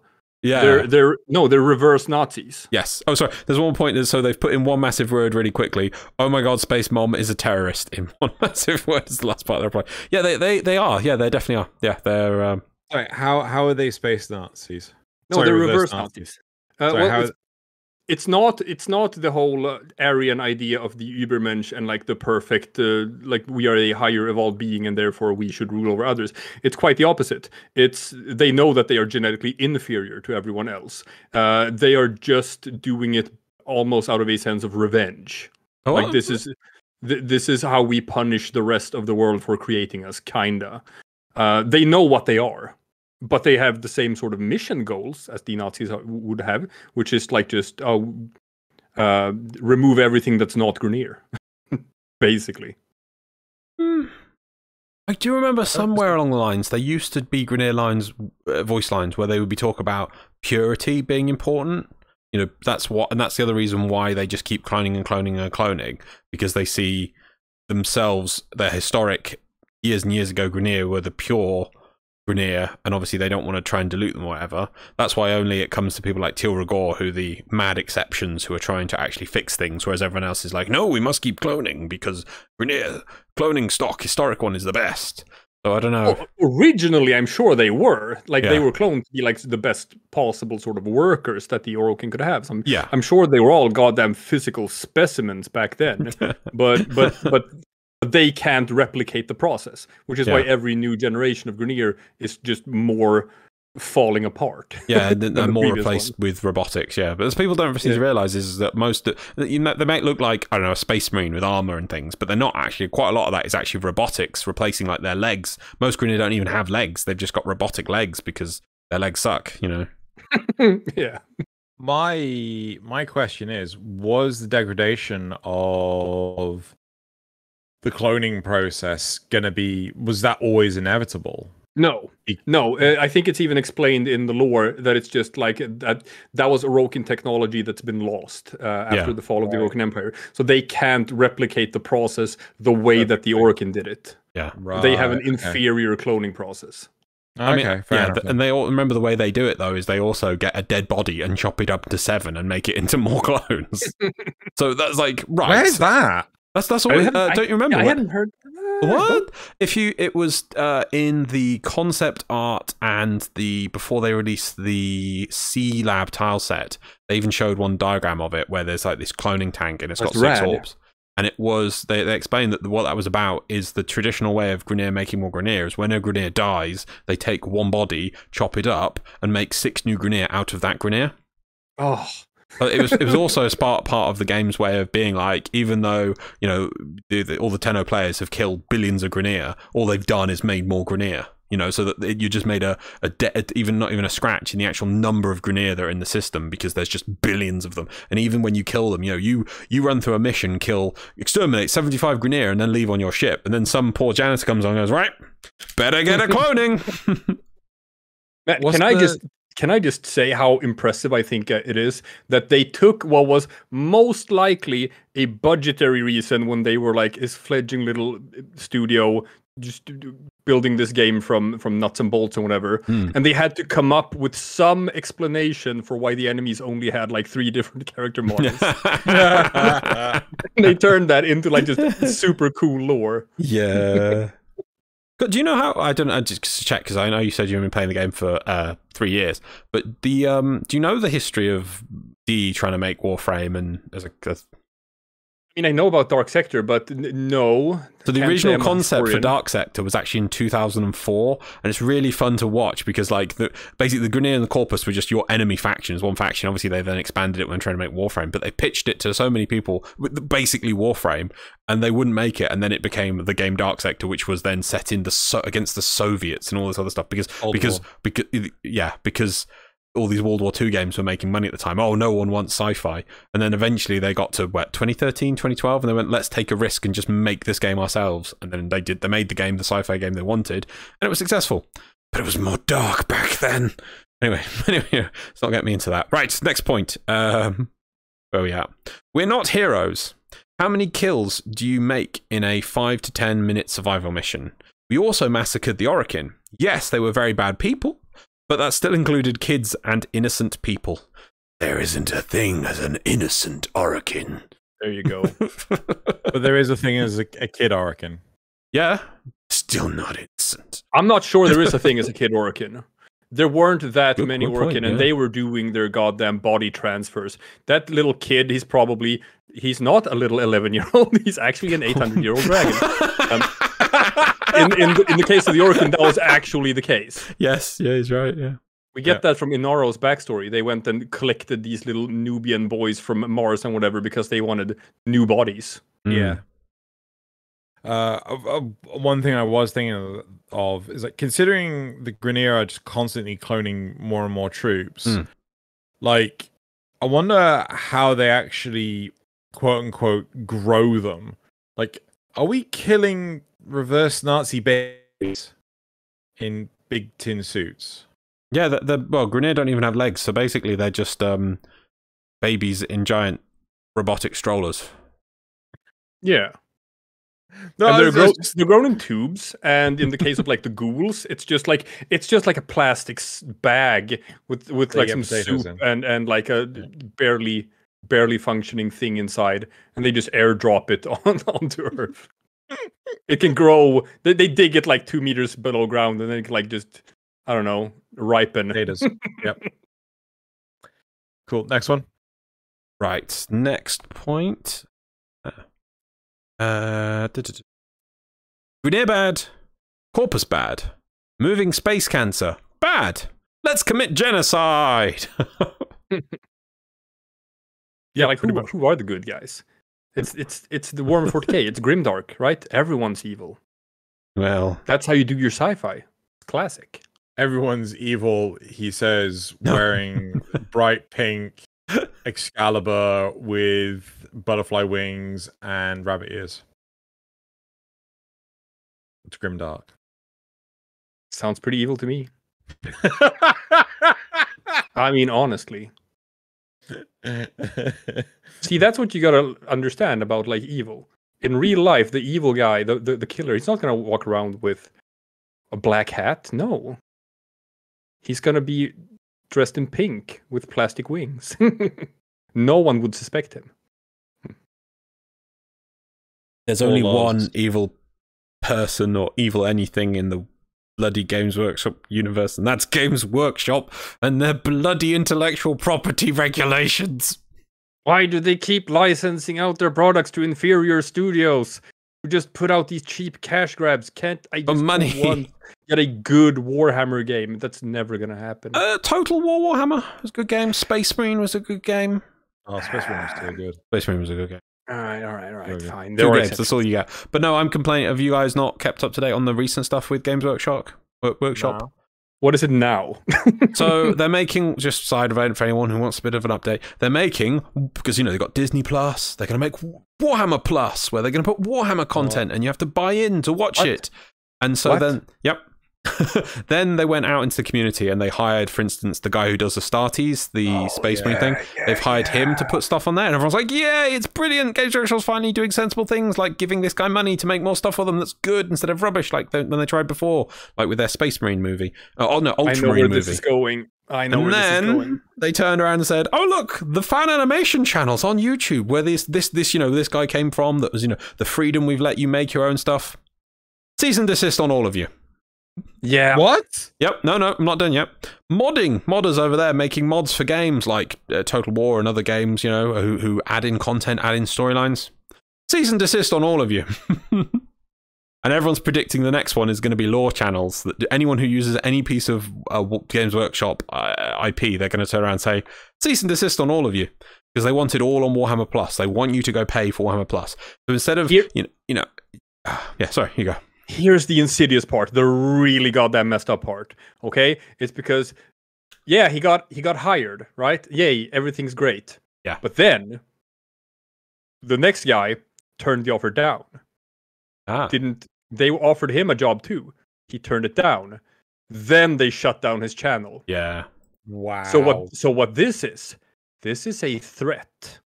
This is that when they come and offer you that job, if you don't take it, they're gonna shut your channel down. I so one if memory serves, didn't Games Workshop get bought out by someone recently? No idea. Loz? Uh, no, they don't think they've been bought out, but they've been. As, as as Nik said earlier, they're selling their IP to just about everyone under the sun. Like they get Right. let Marvel made a comic book, which makes no sense. They brought on a Hasbro ex Hasbro director to start selling to work out how to sell toys because they're worried about the 3D printing market in 10 years will mean their whole producing Yeah. miniatures thing won't work anymore. That's why they're doing this. But yeah. So just just let's bring it back to Warframe. So that's why thank you DE for being nice and letting people make fan animations, fan channels or whatever and supporting the community And podcasts. and podcasts. Absolutely. Right, so next one. So I've by the way, uh, just while I'm getting that, I've put pictures of the cloning concepts uh, in the channel. f- Uh, oh no, I've put them in Xenos thing. Uh, do you want to copy them Yeah. across to me, Xeno, while I'm here? Um, right, next point is one of the lovely functions of Fortuna is giving concrete evidence of what corpus rule is like for common folks, and give an explicit demonstration of how Darvo is correct that the corpus are just as bad as the Grineer. I want to interject here because this is actually Nathaniel, Yes. and Oh, my okay. understanding was that Nathaniel is not part of the board of directors. Yes, he he is. wants to be. yes, he is. I Is think he? he is. Yeah. I think he is. Yeah. 'Cause I think he's a I- I board th- I thought the whole point was that he turned like the the whole quest for legs and things was you know uh oh yeah, please let me uh, I was just about to do it lost um, please let me um be part of the board or, you know I've got this cool product. Let me sell it to you. Let me be part of the board I didn't think he was part of the board I got the impression that he is, but I don't know. I don't know. because again it was supposed to be the whole side of like the corpus were this this is the religious side of corpus compared to the whole capitalist side of corpus which is what alad was supposed to represent Oh. I don't know because like Alad also tries to do stuff to impress the the other uh, board members and whatnot. It seems like they're always vying for influence back and forth. Um, but I'm gonna I'm gonna say I'm gonna say that the corpus are not as bad as the Grineer. like, um, they're still ostensibly evil in in the way that that word can be used to describe anything in the Warframe universe or whatnot. But if you ask me, like which which rule would I rather be under? I'm gonna say Corpus is like the dystopian sort of uh you have to sell an arm to pay There off your debts and whatnot. But um I, I I just checked um Nathaniel the board of the directors He's is what? or isn't. I he is yeah, okay. I was going to say, isn't the Deadlock Protocol the first lines of the Deadlock Protocol? So I just looking those up was him saying seven four seven against, cast and repass seven times. So it's decided, you know, that is, if if it wasn't for the board voting, who is he talking about voting?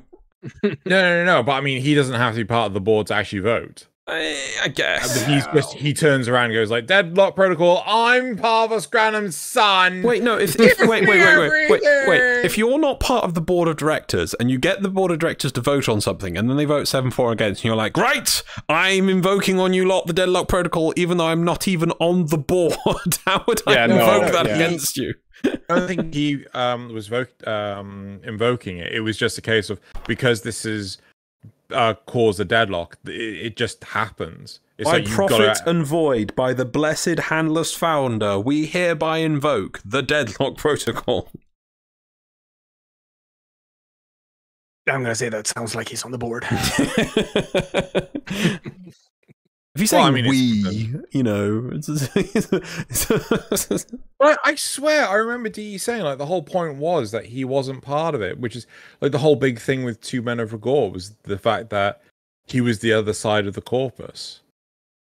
But going on a bit of a tangent here i've always Hmm. wondered about like just the the star system of like what is the power structure? I know that all the planets are like Grineer planet or Corpus planet or whatnot, but Yeah. we we understand the balance. We understand that idea, and suddenly the the Grineer are just like pushing for domination of the of the solar system, and that is a fairly recent thing. My impression was that after the Orokin Empire fell, what emerged from the ashes of that was basically the Corpus, and the Corpus ha- have sort of been running the solar system for for a while now. But now the the Grineer are showing up and are just laying their claim to it, Yeah. and and and we're kind of at a 50-50 now. So I feel like the Corpus is sort of like, is this what life is like for most people in the solar system, or are there planets that are not under Corpus control? What what what are those planets like? Yes, exactly. That's what. Yeah, that's why um the the Gradivus was interesting because it said the colonists of Mars, and they were going to get attacked Yeah. by the Grineer, but they couldn't. But Alad didn't care about them, and they weren't referred to as Corpus colonists. That he was abandoning or anything. It was just the colonists of Mars, so that they were just a neutral fact. But it's the weird thing. Back then, they even used to say. And it was actually there used to be a Q&A thing which they would have a the name Cephalon on the website to answer question for them. It's like why don't we see normal people in the solar system? It's like they do exist, but you Tenno just doing your things are probably never going to interact with them. And then later we got the Ostrons. but yeah, so there's supposed to be a lot more people in the solar system. It's just that they're not on a Grineer galleon, they're not on a Corpus spaceship, and we don't ever really go to the Hablock colony uh, hovering Yeah. around Jupiter, for instance. There's no reason for us to go there. It's got no military presence or anything, so we've never planned there. You know.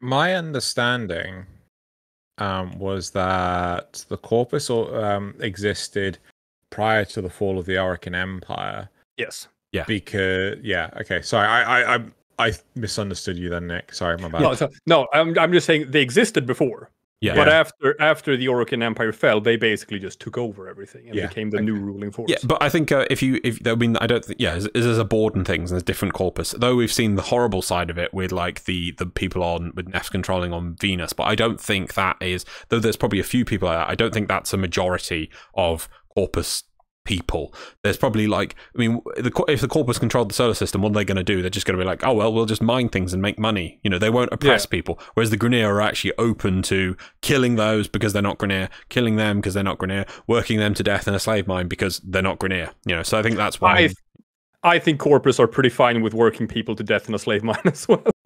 I don't think they are. I think they build a robot to do it instead. Most for most people. Oh, look at Fortuna. Yeah, I Jesus, know. That's what I mean. I think they're actually the exception, not the rule. I, I think that was know. Nef being sneaky and getting control. Like there is something to it, like getting control of Fortuna and not wanting to send robots down to do it. And actually, you, you know, it's cheaper and easier to do it with people in that extreme example. But I don't think that is the average corpus situation.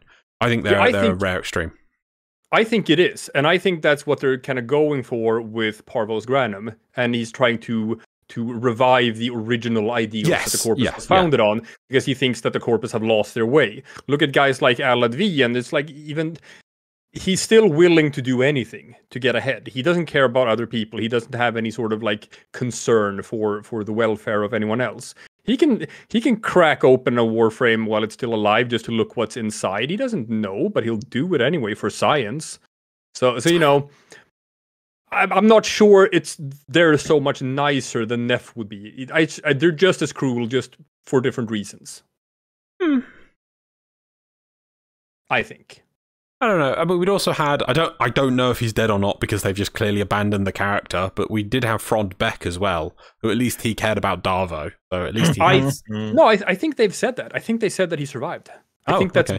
been. I think somewhere at some point in some update or whatever, yeah. it's mentioned in passing that he didn't die. I think. But but Loz, nobody's ever truly gone. No, it's true.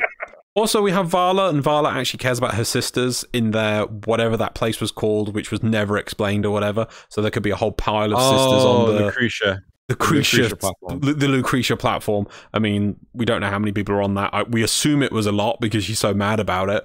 I don't think it was like two sisters, which is the minimum, you know. So there may have been loads of people in there, and she cared about them, and they were doing things. Who knows? Oh well. Anyway. Practicing their sea shanties. ah, that would explain why Sevagoth would be so pissed. How dare you have a Stu It's like that's that's my territory. You know, you can't copyright infringement. No, I don't want no. Blow it up. There you Right, the last point on the reply on this one is I already defined myself as a space pirate. Morally, uh, morality applies only if I'm helping an enemy of an enemy, or the pay is decent enough. So that's just Warframes or Jack Sparrow. I, lo- I love it. Yeah, sure. Why not? Uh, yeah. Wait, hmm. is that actually a line from the Caribbean? It Um, feels like I, I define myself as a space pirate. Morality applies only if I'm helping the enemy of my enemy, or if um, the pay is decent enough. I don't think this person knows what wor- the word morality means. Well, that's that's why it feels like a movie quote. Well, I can't pick it up. If someone's done a very good one on that, that's that's fair enough. But let us know in the comments if you know what that's from. If you're a Feels like movie quote. Yeah. You know, Maybe if you It's copy like, the bit uh, of morality only applies if I'm helping it an enemy, copy that and put it in Google, see what you get. Oh well. Right, but let's see on this. So let's go with the thing. Votes between us. Good, bad, or neutral? What are we? we're just soldiers.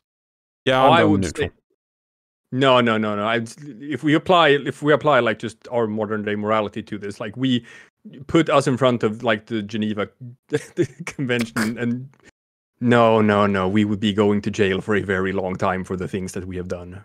As we do use gas weapons, oh, viruses.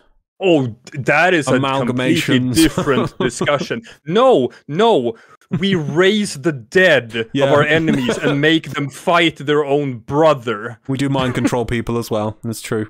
And consume people for the for the fun of it. We Yeah. create a cloud of glass shards and just walk through enemies.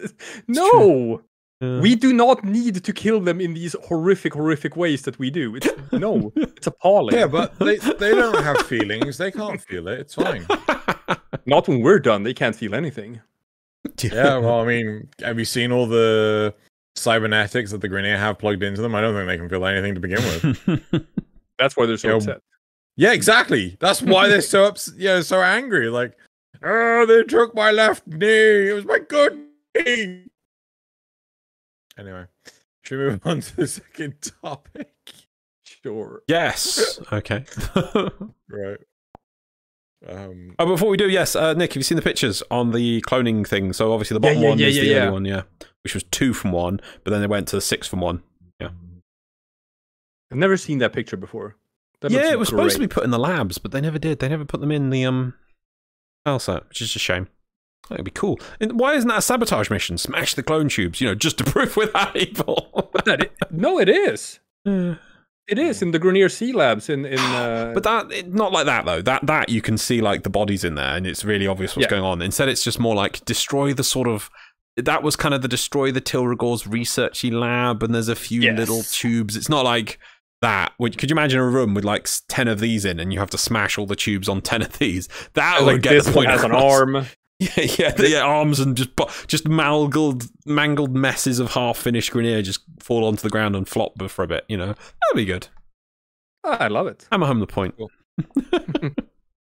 topic two: modding Kuva weapons. Um, probably going to rely on Nik a lot for this one. Um, Might. we have known that the bonus elements of Kuva weapons is treated as the last mod when it comes to element combinations. For those that has Yep, no, I'm reading it verbatim. For those that has single element on top of a bonus single element, that seems to not be the case. On Tenet Agendus, yeah, that's what it says. With a heat bonus, it has innate electricity, adding viscous, vicious, vicious frost. Um, in the furthest left bottom slot, produces blast and e- electricity. On the Tenet Cyprex, with innate heat and bonus toxin, adding frostbite in the second from the left bottom slot produces blast and toxin, which is the opposite of what the Agendus does. Okay. Agendus. I haven't got a fucking clue. Is it? It's probably one of the um, uh, new briefcase weapons. Is this like a local sort of translation thing, or like they have different names in different languages? No, no, it can't be. Um, I'll find it now and I'll link it to you. Um, Well, I'm I'm curious where where he says like bottom left because otherwise it's bottom right if you wanted to have the lowest priority. So it might be that they're just modding it wrong. Um, oh, the Agendus is the short, uh, the the sword and shield. oh, oh, gotcha, gotcha. Yeah, I haven't gotten all of those yet. Oh, They yeah, just you have to trade announced- for these, yeah. don't you? Yeah. They no, they just announced that they're gonna uh, improve the uh, the corrupted Holokey farming. Now you're gonna get corrupted Holokeys for for killing uh, sisters of Parvos. Ah, So that's that's very nice. It's not in the game yet, but it will be. Um. Okay, so they're talking about innate elements. Some weapons have innate elements, and then you can add your own innate elements with, with you know your progenitor warframe when you when you create the lich or when you create the sister, and they're talking about how that interacts with, with elements when you mod it. And there seems to be some sort of discrepancy with which which one gets the lowest priority, if I Yeah. understand it correctly. on terms with a heat bonus as an electricity vicious first left shot. Blast and electricity. So on that one, the innate sorry, it's taking the innate is being separated out. On the Tenet Spirex, which has a neat heat and bonus toxin, adding Sorry. frostbite in the second bottom left, uses blast and toxin. Sorry, the way this is worded is really confusing. Adding frost, uh, sorry, vicious frost in the furthest left bottom slot. Well, surely the furthest left is that furthest from the left, or the bottom left? Because if you wanted to have low priority, you put it in the bottom right, not in the bottom Yeah. left. Yeah. So I, I think in the furthest left bottom slot actually means the furthest from the left, which would be the bottom right slot. Gotcha. Which Could would be. make sense, which is how Yeah. we would expect it to Let's work. let's let's assume that. So let, let's assume that's what they mean, uh, Yeah. for the sake of conversation, anyway. Uh, there Um, is a there is a picture on the uh, initial post. You want to um copy it? oh, sure. Which oddly enough, Um, they don't put things in the same slot, which I'm confused about. And they don't use the same mod. Getting a point So, across, why not use the same mod? In the same slot? I'm gonna pull this up. No, on so they, they are actually putting it in the bottom left. Yeah, that's not that's not how you do it. So you wouldn't say the the furthest from the bottom left. Yeah, I don't. It's really weird. This person's trying to make a point, and just, just, just for everyone's aware, if you're going to make a point like this, you have to. Right, if you didn't learn science in Oh, yeah. school, one of the key points is you keep everything else the same. That's the goal, right? So if you're going to give an example, uh, which I assume, oh, could we put that on a in the? Should somehow get that picture? and I Uh, can put it up? yeah, yeah, yeah, yeah. One yeah. I- Hold on. It's I don't think it matters that it's bought. Say it. I, I think that might be the only mod that they have put in just to show how they interact.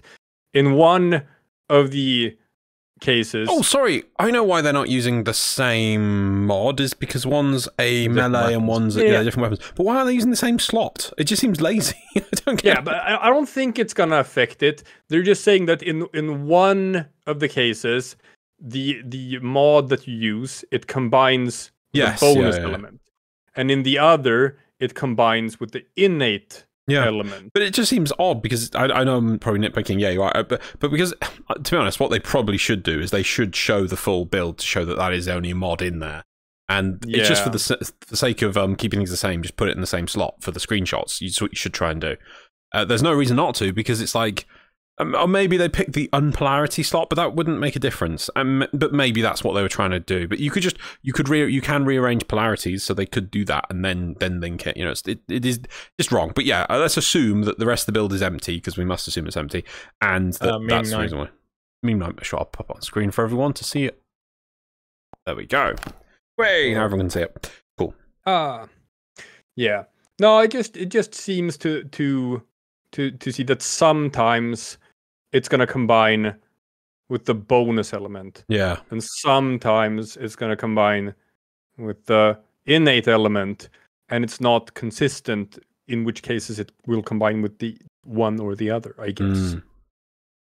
All right. Could could be onto something. Could be how it works. It feels like there needs to be more experimentation here. I see a comment saying that like it might be that elements have their own sort of internal order. so so if yeah, it might apply um, toxin before it applies heat and things like that. Yeah, I think that's the Because in this case- here. Yeah. because in this case both of them count as being last, so they have to be determined in between. But that's weird. That's weird. I mean, these things do happen. I remember. Do you remember years ago we had um, oh, Hydroxate on, and he was explaining to us that the way they did elements on Arcwing weapons was broken. Remember that? No, Oh, well, it was the thing. because Arcwing doesn't exist anymore, oh, quiet you. and it makes me sad. Um, I, yeah, I mean, I don't know. To me, there's just too much unknown here. Because, like, what happens if you put the uh the frostbite in the Spirex in the bottom left hand corner? Like, it, it just feels like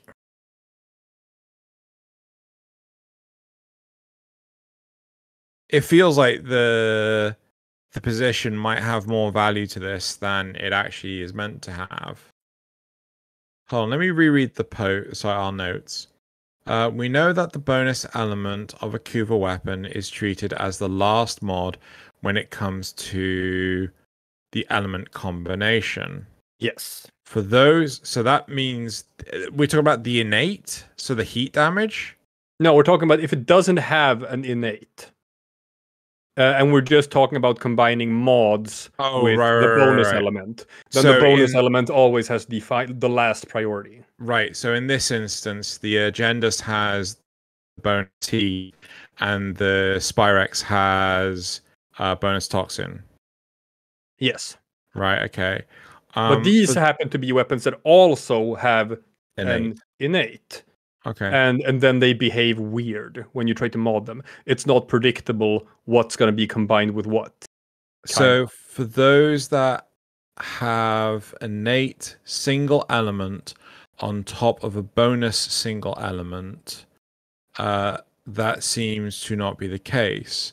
On the Tenet Agendus uh, with a heat bonus, it has innate electricity, uh, adding vicious frost in the bottom left um, produces blast and electricity. Um, on the Spirex with innate heat and bonus toxin, uh, adding frostbite from the bottom left produces blast. And see, I, to me, this instantly comes down to, um, oh crap! How how do I explain this? I think this does it in alphabetical order, and the innate heat and bonus um sorry the, the innate and the bonus are treated at the same layer does that make sense Yes, uh, except that in the comment section, it seems like after some testing, it's not alphabetical order, but there does seem to be an order. Uh, the order being heat, electricity, cold, toxin. So, so there. i 50 quid says heat was actually originally called fire or hot or you know, Who knows? But it's it's still not gonna be alphabetical. But um, um. electricity could have been lightning do you remember they they have their placeholder Oh, you think it's and- you think it's placeholder? There's an internal name for the Yep. elements. yes because different. like the, the whole the whole game still runs on placeholder names Yep. like um oh god when um tobiah who built the genesis um Genesis. bot for discord like you know whenever new stuff comes in he gets the internal naming structure before he actually gets the proper so he has all the internal names and he has to translate them. So i wouldn't be surprised if electricity used to be called lightning right? You know um heat used to be called fire.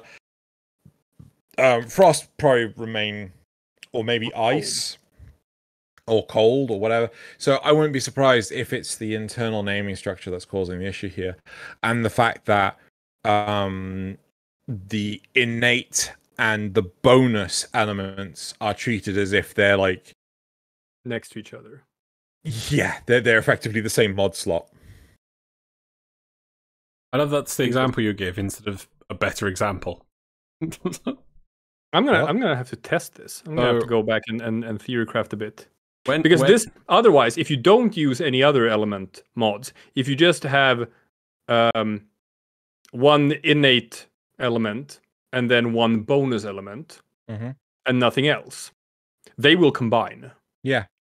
Um so the question is just if you just add one elemental mod, which of these two will it combine with and which will it leave alone? I mean, if I was to program this, uh, you've got the mod slots for the weapons. I would have made two additional invisible mod slots that the players cannot interact with, and then just go right, alphabetical, shove these in, right? Mm. You know, that that's it. right, um, do you not remember when when we were at the studio, Xeno? we had to spawn in enemies. No, I don't remember this. Oh, do you not remember the, the type in codes? I mean, I don't remember the actual all of it, but I remember what a gr- uh, corpus crewman was called. Oh shit! Yeah, go on. Well, spaceman. Oh god, yeah. Yeah. So it's the code is like spawn in Spaceman Ultra or spawn in Spaceman Basic or something like that. So yeah, they they have internal names for things. So yes, that could easily be, as you were saying. Would you say that heat was called fire? Yeah. Uh, like, yeah, it could be. It could easily be like that. Very easily. You know, Fascinating. As in, definitely that is how the game is coded. As in, we've actually played with it. It's like, yeah. Toxin could be poison. Yes. Yeah. I, I nearly went gas then for a second, and I thought, wait, no, they already have a gas. Gas could be called poison. Now I want to test this with like uh Warframe abilities, like Ooh. Nourish. Nourish adds a toxin mod on top of of whatever like the uh, the weapon already has. That's how it works in practice. It adds a toxin mod. So what priority would that get? what? Yeah. How would that combine? Would it combine? Because it's applying the effects of the mod. It's not actually applying the mod. No, I think you can. I think you can combine. That would think be you can use- interesting. Because I think if you like use nourish, and then you cast an ability that normally does like cold, I think it's instead gonna do, or like you sh- you fire a weapon that normally does cold damage. I think Hmm. it's it's instead gonna do viral damage. Because that would mean technically you could modify your loadout on the fly if it actually picks it up straight away. All very interesting. Um, I, I, I, I don't know how to to. I mean, yeah, this this is really interesting that this was highlighted, but I mean, It's a minor thing, all things considered. yeah. My my question to you is if you have these weapons that have like innate fire, innate to- or bonus fire, bonus toxin, bonus whatever, you know, would you like to see these two extra mods uh, like so get your, you two extra mod slots appear in the weapon so you can rearrange where these innate things Oh, absolutely. I would Yeah. love that. Yeah. But you can never take them out Yeah, that would be great. Yeah. Oh, it makes modding so much easier. I'm with you on that. Yeah.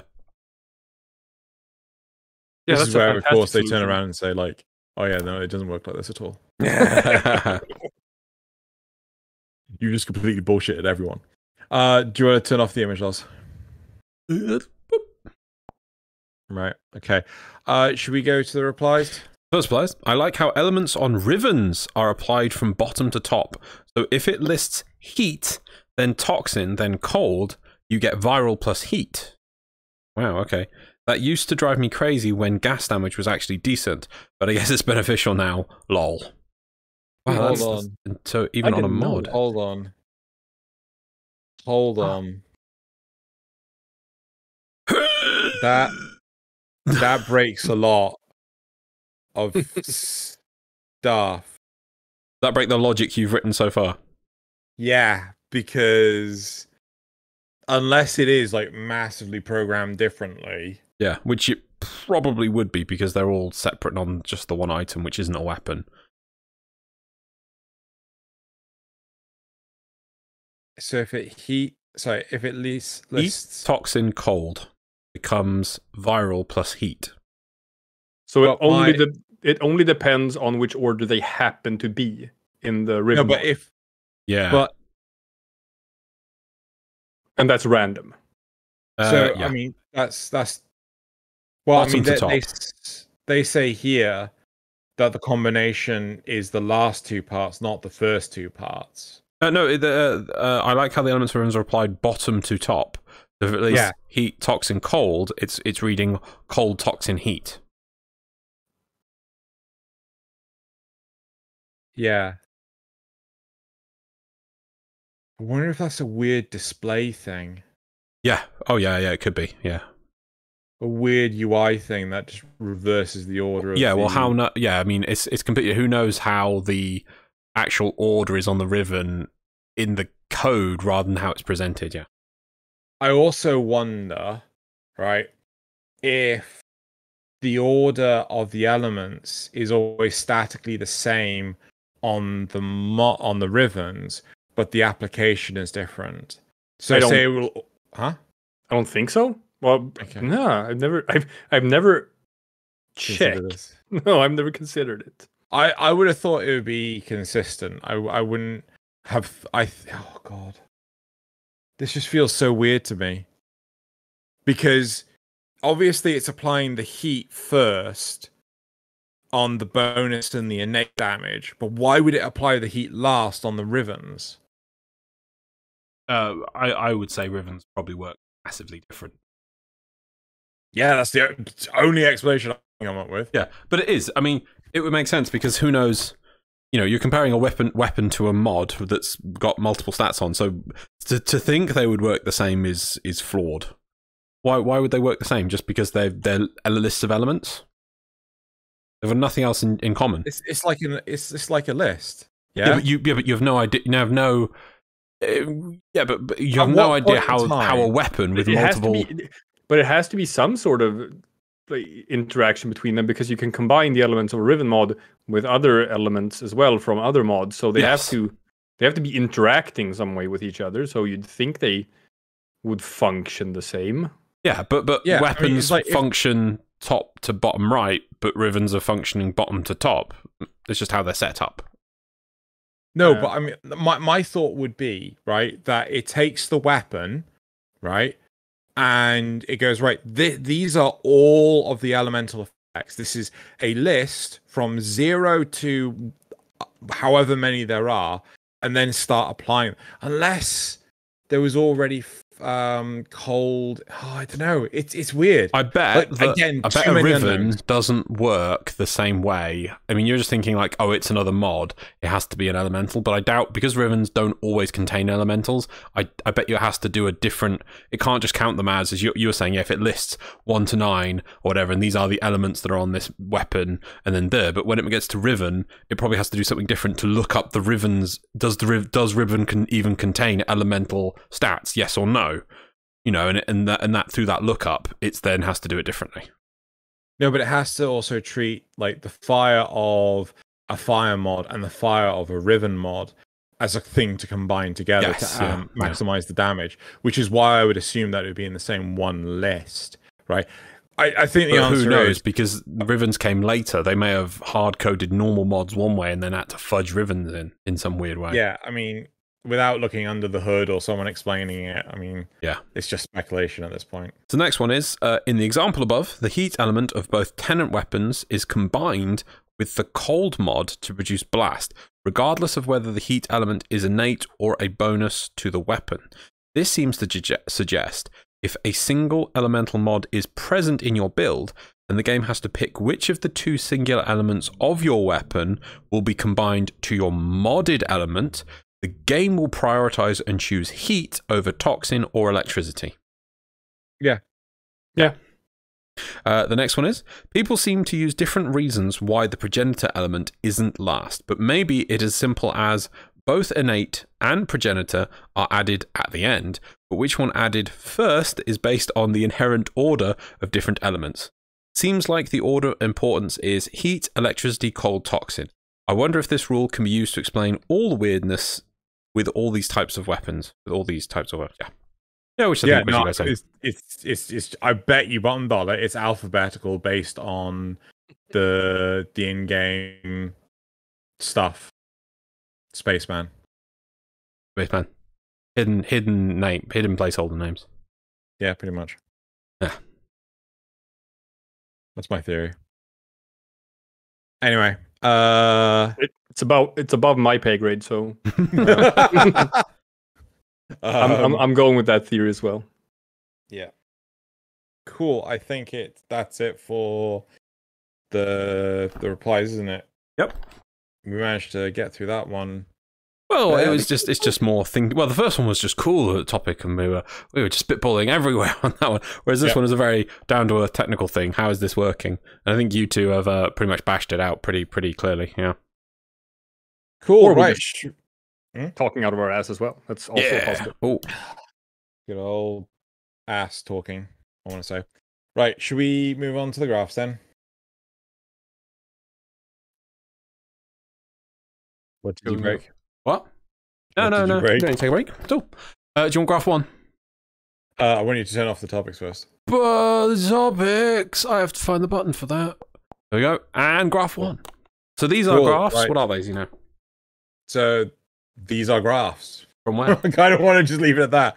No, these these are the graphs from last week's questions that we asked the audience. You know, here, here they these are the polls. So, you know, uh, all related to uh, the the new war changes and railjack stuff. So last week, the first graph asked, uh, "What are the your minimum expectations for the aftermath of the new war. Imagine I actually asked that as the question instead of what is actually written there, which is really bad. What so, well, what are you minimum expectations for after the new war? I clearly wrote that when I was tired. Okay, so right, so thirty-eight percent. So this this was a multiple choice, so you could choose multiple of these.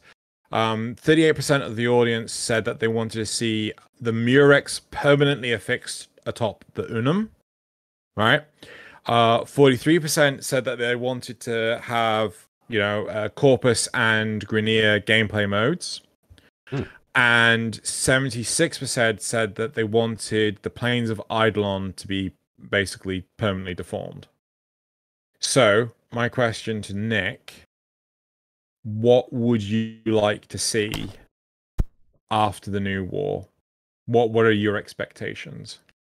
See, I think the one that people are most like the, the the one that people are clamoring for or whatever.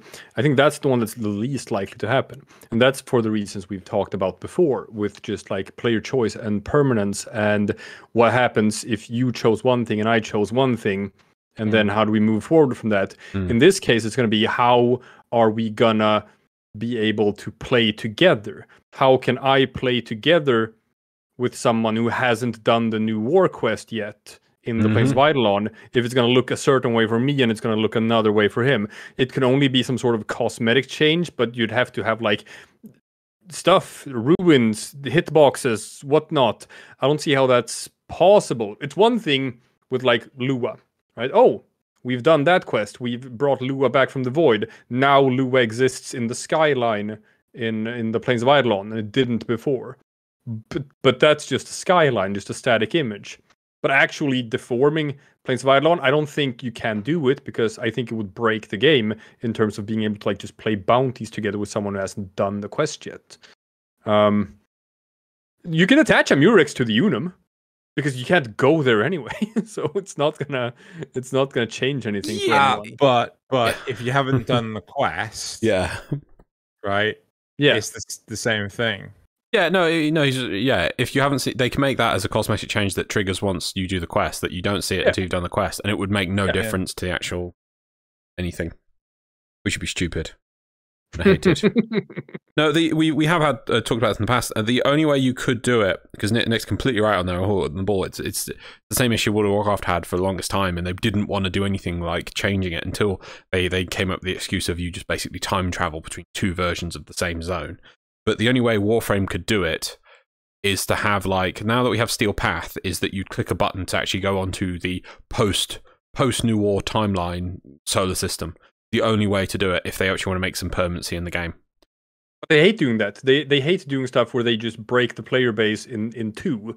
Uh, Um, but you wouldn't technically because you're just basically making another solar system as if we made the Tau solar system. You're expanding the map, but you're just expanding it to a time zone. You're not. Yeah, when you click on a node, you can't select the future node, but you have to do that. I know it's putting more nodes in the game, and they have in the past squished the amount of nodes, but it's the only way to do it base in a basic way. Well, you can you can you can throw this out as a quality quality of life thing, right? If you're a new player and you're like mastery rank one or two and whatever, and you go to to uh, Cetus and you want to do some bounties, and you go out to the Plains of Eidolon and you just join up a team and everyone's flying around in arc wings and everyone's just shooting everything out of the sky. you got you got all these Grineer airdrops. They don't even have time to spawn in before they're just wiped. and you're just standing there as a master rank one player and you have, you have no idea what's going on. Yep. And then suddenly the bounty is over. Everyone's back at the, the gates in one second and you're like hold up i don't even have a k drive yet i have to actually run back to the gate and so the question is would that improve your experience as a new game player to not play with mastery rank 30 people so that you can actually experience these bounties the way that they were intended to be experienced But I'd would argue, it actually yes. be good for the game if we chucked all the veterans into the new post-apocalypse Plains of Eidolon instead? Right, I but the problem the problem with that is though, uh, you have to make it that those veteran players don't lose out on something that was available on the old planes Yeah. but won't be available on the new ones. Let's say, I mean, are Eidolon's going to spawn as normal on this new smashed post-war sentient planes, which doesn't really make sense. It's like the sentients have taken over the planes and everything, and then there's still these at night time. There's still these broken sentients going, "Where's me arm? Where's me arm?" It's like, oh, just just don't ignore. And the sentient is like, just ignore cousin Larry. We don't we don't care, we don't talk about him anymore. He's like in the background. Where's me arm? It's like, right, well, we're fighting some Murexes over here. So it, it doesn't make sense for them to spawn if they've completely dominated the planes. So you'd have to give the No, no, no. Uh, those Remember, players we're access to saying both. Deformed. We're saying deformed, not we. You know, you don't have to see um the Murex are still attacking. You know, the the new war events are still happening and things. You could just like, oh yeah, you know, um Hex, uh Stiletto, just gone. It's just wiped off the face of the um planes. Ex Stiletto? It's Oh, yeah, one of the yeah, yeah. locations. It's just Oh, one of the locations in Plains of Eidolon. Oh, okay. But I think it's I- in the if it minimal. if it ah, I'd be so depressed if we get to the point that the no war, the new war has nothing but cosmetic effects in the solar system that it's like okay yeah we've updated the planes a bit and put a few more craters over there and a few more things over there and still you have these eidolons going where's me arm? Where's my arm?" where's me arm? Oh, even though my friends came and left and you killed them all but where's me arm? I've still got a tree stump. It, it would just be so like you're so pathetic. Yeah, now aren't they? yeah dearie me Uh, But which which one of these things would you like the most, Nik? Uh, what does that mean, Grineer and Corpus uh, gameplay modes? Oh, Like, so you know that's how- very it's very open ended. No, you know how they showed in the. Did you see Tenno live? Well, obviously, yeah. I've even Yeah, watched his with- with- reaction to it Oh, really? Yeah, I, I wish Yeah. at the end though you summarize. Yeah, the, I wasn't watching it the whole way through. I really felt at the end of that video that you should have done a sort of like uh, get rid of all the footage and then do your own summary of your whole view of what it meant. Uh, Because I was watching through it, waiting for that, and but you kind of talked as you went, and then you just you went, "Oh, it's over," and by I was like, "Oh, but but, but what do you think? What do you feel? I need your hopes and your dreams from this." Um, Yeah, but yeah, like should have done that. Would Would you like to see a gameplay mode where you can play as a corpus like Vesso, or play as a Grineer like Carl One? So beyond five? just in the quest, so that it becomes a thing that's beyond part- just the quest. Yeah. That's just, but but then you're kind of asking like, do you want Warframe to have dark sector mode? Because then we're going back to like just we're we're taking away the parkour and we're just doing cover shooter, right? That's how you do it. Yeah. That's how you work. That's how you can incorporate cover shooter into into Warframe. But uh, You'd have an to you'd have to be not a Warframe doing it. Yeah, but an example of what they could do with that is they could add in a conclave PvP mode, which in the lore is you training the Grineer and the Corpus against each other to practice against the Sentients. So that there is a conclave mode where you can play as Corpus, which are obviously limited and, you know, as you say, don't have all the crazy jumping things, but control mowers, and you can play as Grineer, and it would actually be a balanced PvP mode. Cool idea. Probably not for me because I'm just not that into PvP. yeah, yeah. But uh, but uh, I wouldn't mind it. I Yeah. think it, it would probably work. Mm. Um, As an example, that's just an example. I mean, there's other things you could do. I mean, it doesn't even have to be controlling Corpus and Grineer to play too much, but it could just be, you know, a um a mini game mode or a side game mode or just just extra content, you know, beyond Warframe bit. Like, it was just just examples. Like I have wrestled with this question so many times, and it, again with the, the divide video series where I'm trying to like just.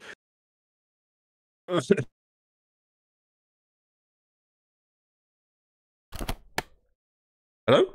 Stopping. Oh, Yeah, lost connection here. for a sec. Oh, I'm sorry. still here. You still there? Am I back? Yes, Yeah. we're back. Sorry. right. Ah, So the divide game mode, uh, uh, uh, video. Sorry, Yeah. is what I got to. Yeah, yeah. No, but but but my whole thing with that was that like we we make these demands sometimes to the developers without really stopping and thinking what it is we actually want for ourselves and like Hmm. what what do we want the game to be. And it's like I know what I when I pop up Warframe, I like I know why I play the game and like I, I at this point the movement and the parkour and all of that it's such an integral part of the gameplay experience. Where it's like if you take that out, would I want to play that? I'm not sure. But Maybe- what if you were playing as a Grineer and you could deploy on demand the balloon uh, bunker things? blunts. You deployed blunts. Blunts. at any point in time. that is a pretty sweet deal. Yeah. Lose Um, parkour, get your own blunt. I guess it could be cool. I don't know. I guess it could be cool. Just sometimes, sometimes it can be fun to just take stuff away from players, even though they hate they hate to hear that. Yes. Yes, yes, do. I, I think if I have to pick about uh, out of all of these ones, yeah, sure. Uh, Corpus and Grineer gameplay mode sound that adds something to the game, which takes it in somewhat maybe new direction where you can like interact with the game in new different ways. I think just changing cosmetically how the Plains of Eidolon would look because that's the only way you can do it. I think that's boring. I don't think that adds anything. And the Murex attached to the Unum is also just a cosmetic change. I don't think that actually changes anything. Mhm. So yeah, if I get to pick one of these three to put into the game, sure, give me Corpus and Grineer PvP. That sounds great. Cool. Next, uh, graph Loz. Uh, do you like the idea of Corpus versus Grineer conclave? So, I'm Uh, ambivalent toward it. I li- sure it's good for the game. There are people who would enjoy it. I probably wouldn't, but I I don't mind it existing. Yeah. Unfortunately, my numbers have actually changed because literally, as we're recording this, someone has just gone and updated the numbers. So, uh, 18% said no, and uh, 86% said yes. I think yes, it would be good for the game. I still don't think anyone would play it. I think they would. I think they would. If you put like Carl, as if it was like hero characters as well, I think people would play it, god! and it would be Oh, balanced. what like as the thing. Battlefront? There is Well, there is some precedent Yeah. to this. There is some precedent to this. That's that's Mass Effect 3. Because Mass Effect 3 is a game you play it because it's a single player game and you want the story and you want the Mass Effect experience and all of that. That's that's the hook. That's where you got the game. Then it turned out that Mass Effect 3 has an excellent excellent multiplayer PvP system as well, where you play as a Vorcha, where you play as a as a uh, Asari or or as a Krogan or whatever, and and it's just different from the normal game experience, and it's like surprisingly solid and surprisingly fun. So uh, fi- finally, we've had somebody on that actually remembers this game because I never played it, but I know of it. Did it actually like have different things week by week as well? So it felt like an evolving war over time. Um, Like some, so you didn't fight the same enemies every week, or there was like an objective every week, or something. I remember reading about it, but I could find no information on it. I swear. no, because- it's just they, they they add they added stuff to it over time. Like Right. you couldn't play you couldn't play as a Vorcha for like until like a year later or something. huh. and you found like new classes and stuff as loot boxes. So, so you know that probably wouldn't fly today. But hey, man, back in Mhm. those days, loot boxes were A-okay. Were they uh, loot boxes for money or just in-game loot boxes?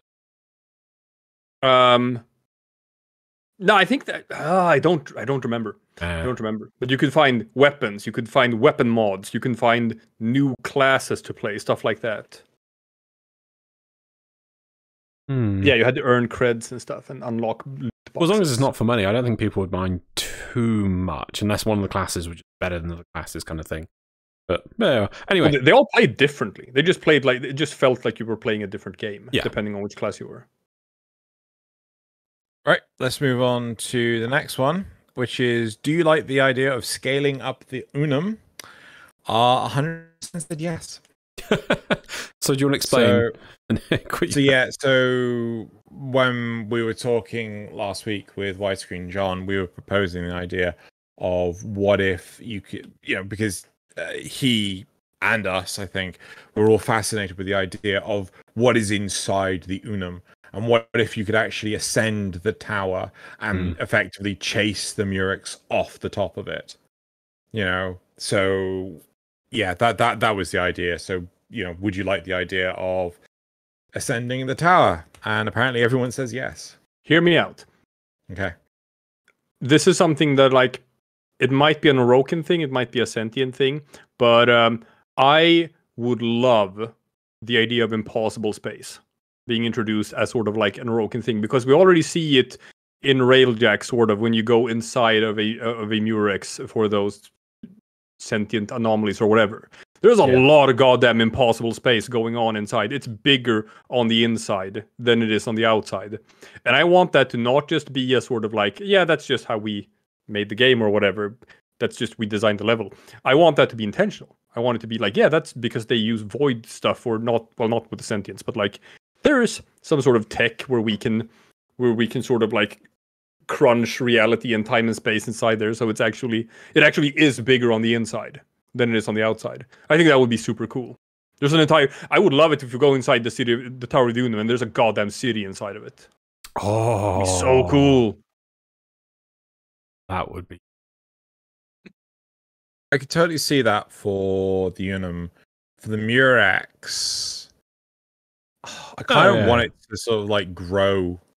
Like that that one still works on the physical planes, like you know, the, the physical dimensions of three dimensional space, but I I would just like it to change shape, just change the interior, change, you know, stuff like that. Um, I get where you're coming from because yeah, you, you, you get out of your railjack, you go board the Murex, and then inside of it is absolutely freaking massive. Yeah, but But- there's Yeah. loads of bits inside which show outside of space, but they look like broken platforms and things. But from the outside, the Murex just looks like a giant red hair clip. Yeah, but, But but, mean, it, look but there is some sort of like overlap there because you can actually see the railjack when you're inside the the Murex. You can Yeah. see the railjack on the outside. yeah, but look at the oh gosh, what's the name of the damn thing? The Corpus ships. Those things look way too small for the the volume of space that's inside them. Yeah. Kinda. Uh, I don't know. It's like the sense of scale gets a bit uh, messed up there, but if you actually fly really, really close when you're in Arcwing, um, you'll see that the sense of scale is a bit distorted from the fact that the railjack is a bit bigger than you think it is. And you sort of like. You scale it to yourself, so you get this idea in your head that the railjack is about to say the size size of a warframe or whatnot.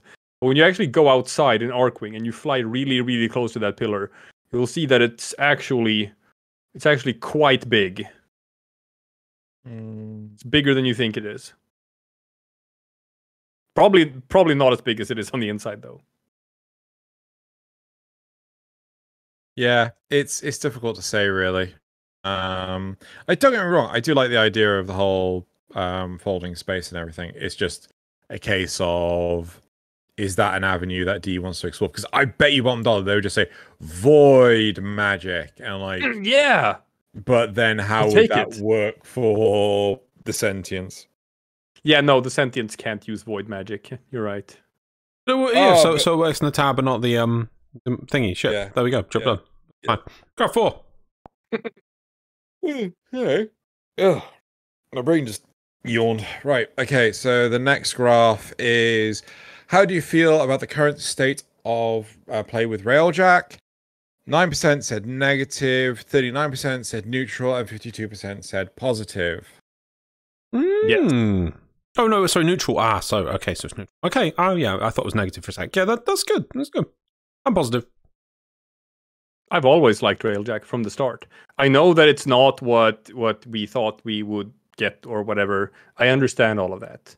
That being said, like I I've always thought it was a cool addition to the game. I love the actual space combat. There's another example of like, is this what I installed Warframe for? Is this what I want when I play Warframe? I didn't think so, but then I tried it and it turned out turned out that like, yeah, yeah, I want this. This is cool. And I- Void Storms are great. The rewards for Void Storms are great. I love it. Uh, corrupted holokeys, eh, but they're fixing that. Yeah. Oh, it is. They normally fix it later.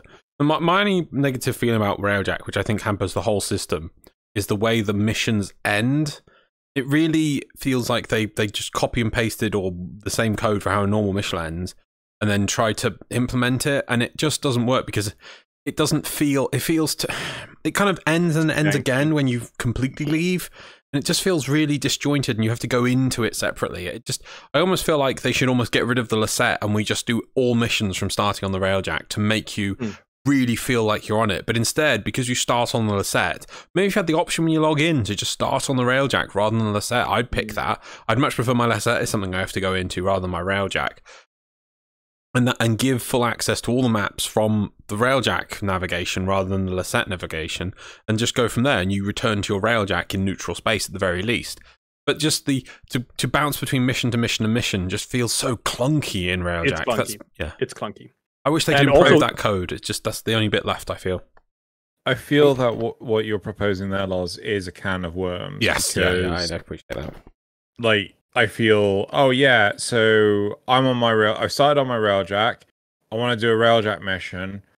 Oh wait, why am I now traveling in my Lisette to someone else's railjack? Well, Well, I was on my railjack.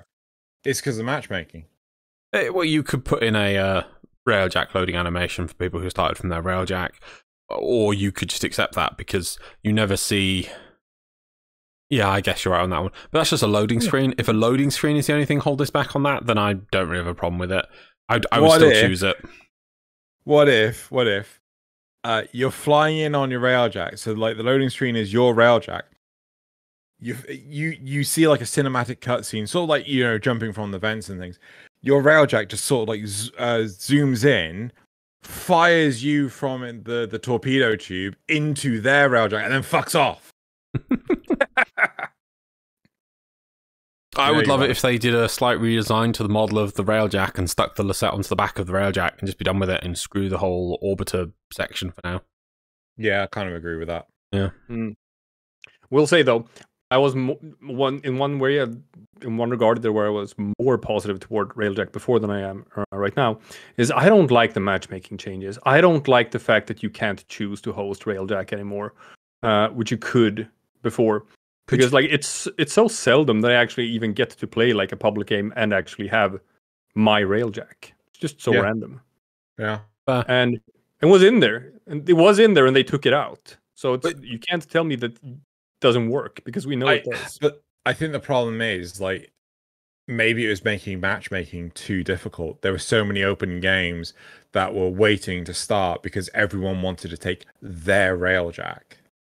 I think that was part of it. I also think i i seem to recall steve saying something about once they introduced dry docks to relays so that you can access the missions from relays as well that also further complicated matchmaking when everyone got to choose to be host uh, or or not. Yeah. i don't know.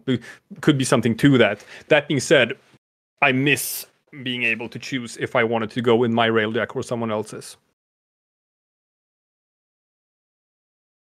i like Mm. it Yeah, elective host is also something for, for even the normal games we've been asking for for years, isn't it? yep You know, if, when we know someone has a good connection, someone has a bad connection, the game still goes, "Oh, that person's the host." Like, no, yeah, I've talked to so many people in game who are just like, guys, I'm sorry. I have potato internet. Yeah. The game made me host. I don't want to be host. I apologize. I the thing that I'm thinking of at the moment, uh, a solution that I'm thinking is at the very least when you're between missions in Railjack, allow the players to swap the Railjack. So effectively force a host migration. So if like, you know, uh, for example, Nik, you wanted to use your Railjack, mine's crap. You, You're Mm. like, hey, you know, let's let's have the the Railjack, you know, and then we just I don't know, a vote system. You know, use Nik's Railjack, yes, no. Everyone clicks yes, and then it swaps, you know, to Nik I guess the. I guess the counter argument would be that like you can already do that with pre-made squads, but Hmm. in public games it would have to be between missions. In that case, I guess. I don't Yeah. know. But I'd love to see the percentage of public missions which actually go beyond one mission. Most Yeah. of them are just in and out. Yeah. Is it really worth the dev time? Ah, but my th- th- feeling is that if this was introduced, this could actually improve the longevity of the public missions. Because you So, get to like, pick your they go beyond- I'm No, not going to stay yeah, on a so, like, mission I've got a because I'm doing my No, but- relics. I've done my one I'm out, or I'm doing my sister. I don't really care about. Oh, let's stay because we'll swap No, to but my railjack. no, no, but that was your objective was to do the the system bug out, Yeah. right? But if you had the option to just keep like if you were there to just do void uh storms, right? And you want to go from void storm to void storm, but the the the railjack you started on is struggling. It's not that great. You could go, hey, my railjack's um kind of better than this. Do you want to swap to my railjack? Right? But I guess then- I see. I guess I see that people would just be like, "Nah, Yeah. I'll just, I'll just jump out and just pick another random public game instead." Or hell, just if you're at that point, just get some better crew members. Just get, just keep, yeah, just keep picking different missions, or just try something else, or level up your own one. I, I, I really, I, th- I like. I know it'd be a good addition, but I don't think people will really use it that much. Okay. Should we go to the last um card? So the last card was what do you think could help Railjack the most? So 17% said better Arcwing integration. Uh, clearly they're wrong. Be 100%. Hmm. Um, uh, 34, so 35% said more base mission types for Railjack, and 48% said uh, multi Railjack missions taking down capital ships. Capital ships. We need to fight capital ships. Why don't we fight capital ships? Why are they just static bricks?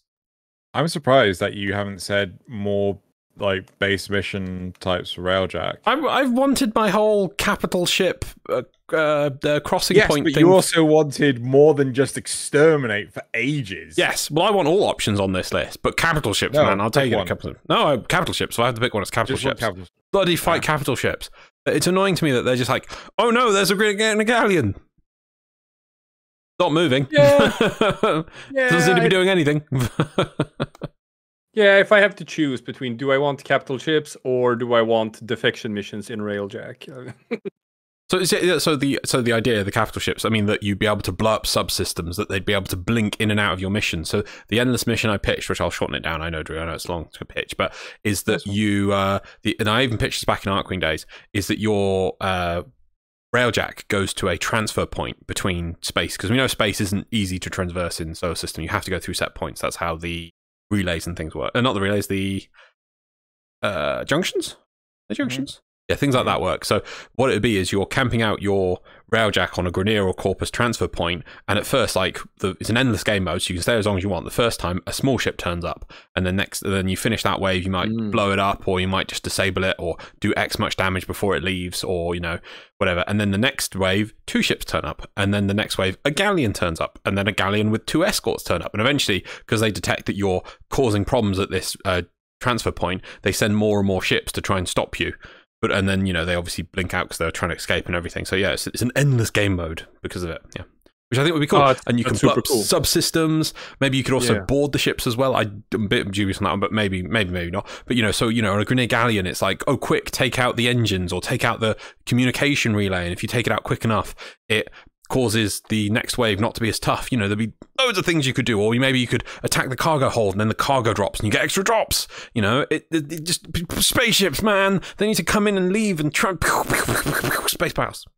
Yeah, no, it sounds super rad because like my issue has been with like the overall balance of uh, how much is space combat, how much is Warframe inside of the thing, and it used to be all space combat, Mm. and now we have normal missions, but now they went too far in the other direction, and now it's like almost no space combat at all anymore. Yeah. It's just like a little bit of space combat, and then you do Warframe stuff, and you're in a survival mission for 20 minutes or whatnot, and that's uh, it's mm, that, that could be done better.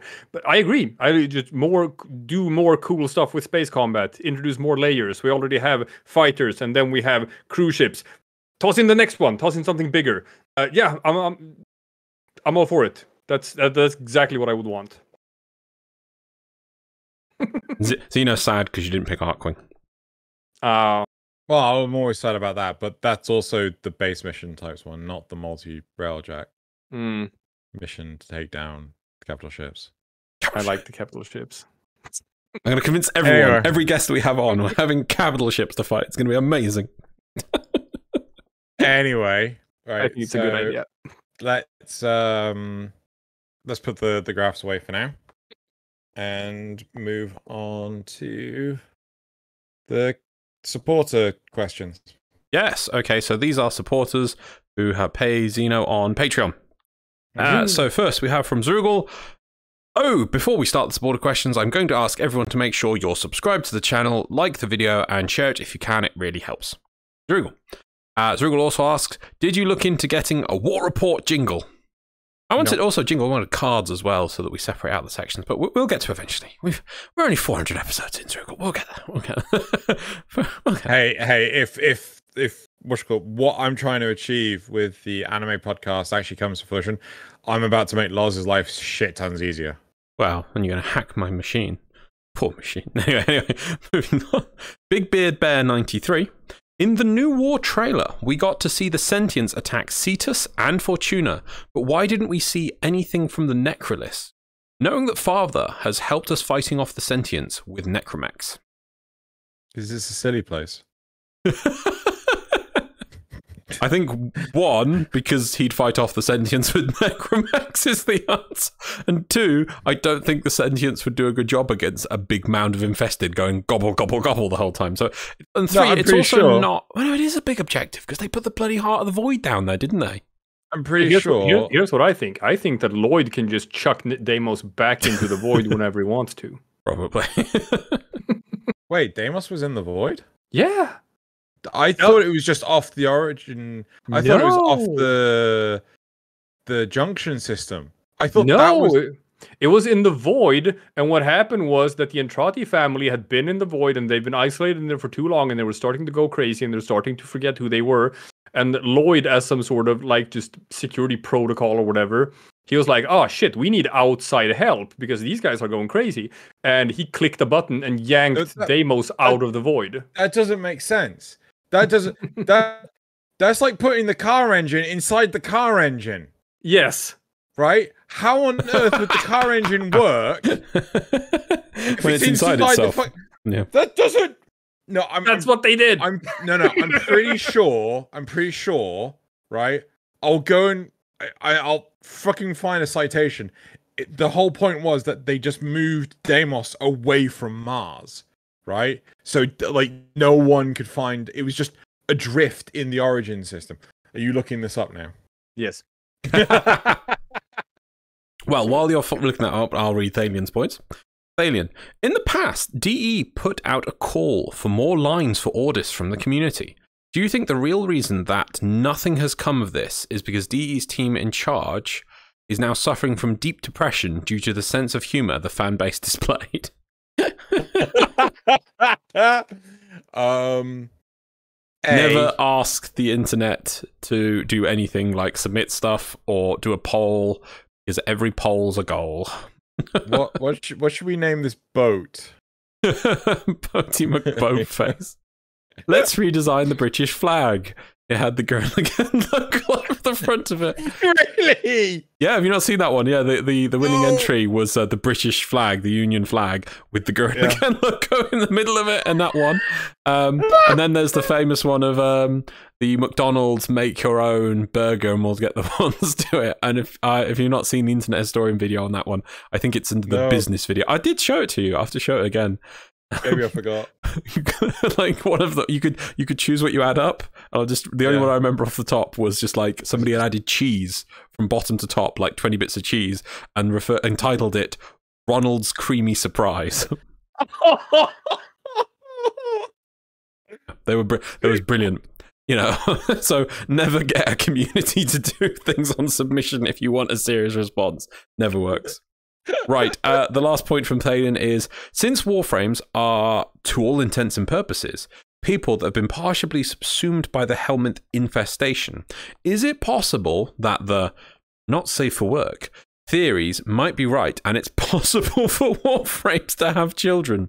If so, which two frames would create the most unholy of overpowered offspring? This question brought to you by Pornhub. Jesus Christ. Oh. what the fuck, Thalian? it would have to Um, be limbo and something, I think. Look, look, we all know that Rhino is the hung warframe. You've seen the design. You know what that is. Yeah, You this can't is unsee it now. What he's asking. no, I can't. Anyway. No, no, no, no. I'm just trying to think. Like, what are the most OP warframes? I, t- I totally agree with Limbo. Like Limbo plus Trinity, seeing as Trinity doesn't have a range on blessing, so you could just turn blessing into a Limbo does. thing and stuff. She Does she have a range now?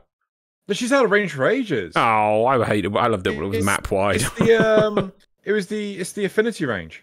Oh, is it affinity range? That's still pretty Yeah. big. Yeah, it's still pretty big, but it was the only way that they could actually go. And this is how we make other healers viable. Instead of having one that is broken. okay, so what are you going to go? Limbo plus what? Actually, no, I'm Limbo plus defer- Nyx, because then you've got I'm mind def- control and void power.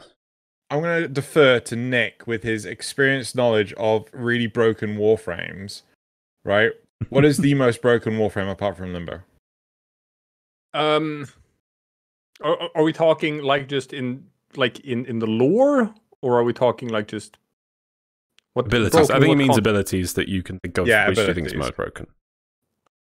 Uh, oh, like Limbo is, isn't broken in that he's powerful. Limbo is broken in that he always breaks the game. Yeah, and exactly. you yeah. always have to to to to Rebalance fix- things. Yeah, fix stuff based on Limbo. Yeah. Um.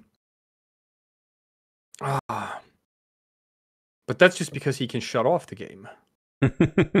He can just make it stop existing. what about Limbo and Equinox? You've effectively got three really infuriating wolf. You know, like oh yeah, I've got um, an AOE better world on fire, and I've just frozen everyone. In and I'm invincible. Yes, there we go. We'll go with that. Right. Moving. Oh, Before, I just want to check: Did Nik manage to find oh, yes. His source on whether or not Deimos was put in the void, or no, I'd have to dig further. From the Loid voice lines, he just says that he's rephasing into the the Martian orbit or whatever, but it doesn't exactly say where you, they're coming from. But I'm so certain I've heard this. If it was from a goddamn- Phasing, Dead phasing would stream or- imply. Yeah, I mean, to rephase something, yeah, you just bring Yeah. it into alignment. Then you would say to realign with the orbit, not rephase. Ah, I know you do have phases of the moon, I guess. Yeah, and it is a literal moon. Maybe, maybe, maybe. Oh well. I mean, anyway, moving on to the comments on last week's episode of Tenno Clock. So first of all, Circle says chaptering a podcast is cool, but the episode this episode doesn't have chapters. Lol. And I did check this. There was no. It didn't break down to chapters. Oh, Do you have oh, any idea why? because- yeah, it's probably because the the last one I didn't put in. Um, Ooh. so basically, if any of so if the later chapters have zeros like zeros on the time, yeah. It treats that as the start. It didn't have any chapters at all the whole episode. Really? Yeah, I'm pretty sure. Um, Did I forget to add in the times? no, and I checked that there was a zero zero zero. I don't know if there was anything more required, but that's what I saw. Yeah, Um, no, the quote, the last one, the outro. Oh. Uh, I didn't put a time for the outro. It's just zero zero zero zero. Oh, and because result, so it then reads that as it, and then doesn't see anything afterwards. Oh, right. YouTube. There we go. Sorry. Right, Nick Evans says uh, to answer what is your least favorite mission type, I would have to say defection because rather than just being a boring timer, it's a boring timer coupled with bad AI pathing, layered on with the same problems that Rescue had before it was updated to let the AI teleport to you. It's something that I find has been ba- find has been so badly executed, and I avoid the mission missions like the plague. I mean, it's enough to just say it's an escort mission. Yeah, That's- yeah, yeah. That's the reason. That's the reason why it's the worst mission in the game. It's Oh, completely correct. I completely forgot in topic one I was they were saying about disruption. And I was gonna complain about how disruption is just doesn't make any sense. They were like saying Yeah. how disruption was like one of the game modes where someone on Lotus is helping you or whatever, but it's like it makes no logical sense. You just like no, no, no. Despite uh, the hate towards disruption, it's one of the few game modes that has someone other than the Lotus telling us why we're helping. Yeah, but we're out there protecting livelihood against tangible villains and rewards are doing so come up I from mean- the people we help. We don't help anyone. I mean- I can only assume that they're referring to Little Duck, and I do my damnedest to ignore everything she says. So Fair enough. Uh, Skyguard 1000 says, I like to listen to you guys while I work. Will you be uploading to Spotify soon? we could. I don't know. I could look into it. There we go. That's the job for Xeno. And maybe for the anime podcast would help as well. I find Spotify is one load of people use for them, so maybe that'd be a good one to look into. Sure. Faber, just for clarification. Oh, yes, thank you for this, Faber, so much. Just for clarification, it wasn't Reb that said it was 200 to 300 pages long. This is the script for the new war. Yeah. It was one of the sound designers, after which Reb shushed them. Oh, That's interesting. Oh, okay. Right. Yeah, because when she held it up, it did not look 200 pages long. And, like- Right. but, and she also, she, the way she held it up, she never showed it end on. She was always like, and here's the script for New War, everyone. At screen, out of hidden. Right. you know. So, yeah, it was quite interesting on that one. Uh, oh, and also from Faber. Okay. Yes. Okay. So this is interesting. I've to both of you here from this. I, uh, so Faber says, I know I've already given my two cents about this whole what can we expect from the new war quest, but I really want to state it in here again. I personally would be completely fine with all the gameplay we saw during TennoCon of those three characters. So that's the Kahl, Yep. Vim- Vimeo. Yeah. Vimeo, and Teshin uh, those three characters to be 90% of what we see of them during the quest, and that the remaining hours of the quest are just our Warframe. I don't even need the new enemy faction gameplay to be integrated into the rest of the game. I'm totally fine for it to be a one off thing, which is only used to better the world building at the beginning of the quest to set the stage to be never seen again. Now, first of all, they've said like 90%. I cannot believe that would be 90% because what would be the point of the entire no, no, no. They are saying they are happy with ninety. yeah, I know, I know, but for, I think ninety percent is a bad number to pick because there's no way that there would only be a small bit more if if DE showed off the entirety of that function as their TennoCon reveal, and you get only a fraction more, and then it's never used again. There's no way that would happen. But let's say it's forty five percent. Let's say that you get double what you saw there. You got that, and the same again, and after that, you never control other characters ever again outside the quest or even for the rest of the quest. Would you two be okay with that? No, no, absolutely not. Like, I'm fine. Like, if it's only in this quest, Mm. and then you never play them again, so maybe the quest ends with all of them uh, dying or whatnot. Mhm. That's one thing. But in that case, I want that quest to be like ten hours long or something. Yeah, yeah. yeah. Well, Yeah, that's that's a mighty fine long quest. Well, no, I, I'm with them. if, if they're going to kill them off, I really want to be able to. You know, I want to. Sorry, Bezo. Is it Bezo? Yeah, Veso. Bezo. Jesus I want to play Christ. missions with him. I want. I, I want to see him upgrading his mowers. I want him like just managing to overcome Why? some missions. You can't remember his name. That- You don't care. It's a meme. You're not supposed to remember his name. That's the point. Um, I Uh-huh. want to see him like get in an escape pod and fall down to Europa, and then you, you're surviving in the cold ice with him, and then in the end he still dies. You're like, oh my god! You know, that's what I want. But if it's just like, oh, we're done with him now, it's like, yeah, that, that's not that's not that's not going to give me the emotional impact. Like Yeah. I want I want to I want to get invested in these characters, and that's Yeah. not going to happen in thirty minutes. No, no, no. Let, He has let, to it, like let it simmer. Yeah, chip give his mowers out of the ice to get some heat to survive, and oh, oh, as he constructs a oh, to blow up an ice cave so we can survive an ice storm, and he still dies. that would be good. Yeah. Um, I personally would like it if what we saw was only a quarter, A quarter. okay. Of the them Gameplay time, Yeah. Yeah. of them. No, no, Yeah. not gameplay of, the- them. yeah. Yeah. yeah. right. Hear me out. Hear me out. I'm calling it. Okay. Mhm. Maybe not the ultimate, but maybe the penultimate or something. Mhm. Um, do you think? Because like people are talking about like how this is going to tie in with the sentient warframe that they're announcing, like Caliban or Mhm. something that's going to be where it's like, oh, Ballas is creating new warframes, or like the sentients are creating warframes, and they don't have the Tenno, but they might have something else that can control them. Do you think that Veso, or not not Veso, Kahl is going to fall under sentient control, and like as the climax of the quest, we have to kill Kahl? I think so. Yeah. Well, you did have So- Erra with his. Mind control. Do not Oh. be afraid. Do not be afraid. So, um, the theory that I'm running with, I don't know if Loz agrees. Um, the theory I have is that Erra is mind controlling the citizens of the Origin system, and then Ballas is using the Kuva to transference the citizens, mind controlled citizens, into Caliban or the mass produced Calibans so that um, they have like an army of warframes. That's cool. Yeah. And- maybe. I've s- I've seen the. Have you guys? No, I'm not gonna. I am. I'm not gonna say what its references because th- there's another piece of media that that has this as sort of like a big shocking twist later on. I've seen people throw out as the, which would be super cool, would be Mhm. super cool as the big shocking twist of the new war Yeah. would be that um, the sentients are already all but eradicated. Like what you see, that's that's what's left of them, and it's Mm. almost nothing. And uh, Ballas is just mind fucking everyone by presenting like the sentient as this world-ending threat, when in reality he has, has like other ambitions and and and other things he wants to accomplish. And this is all just a misdirection.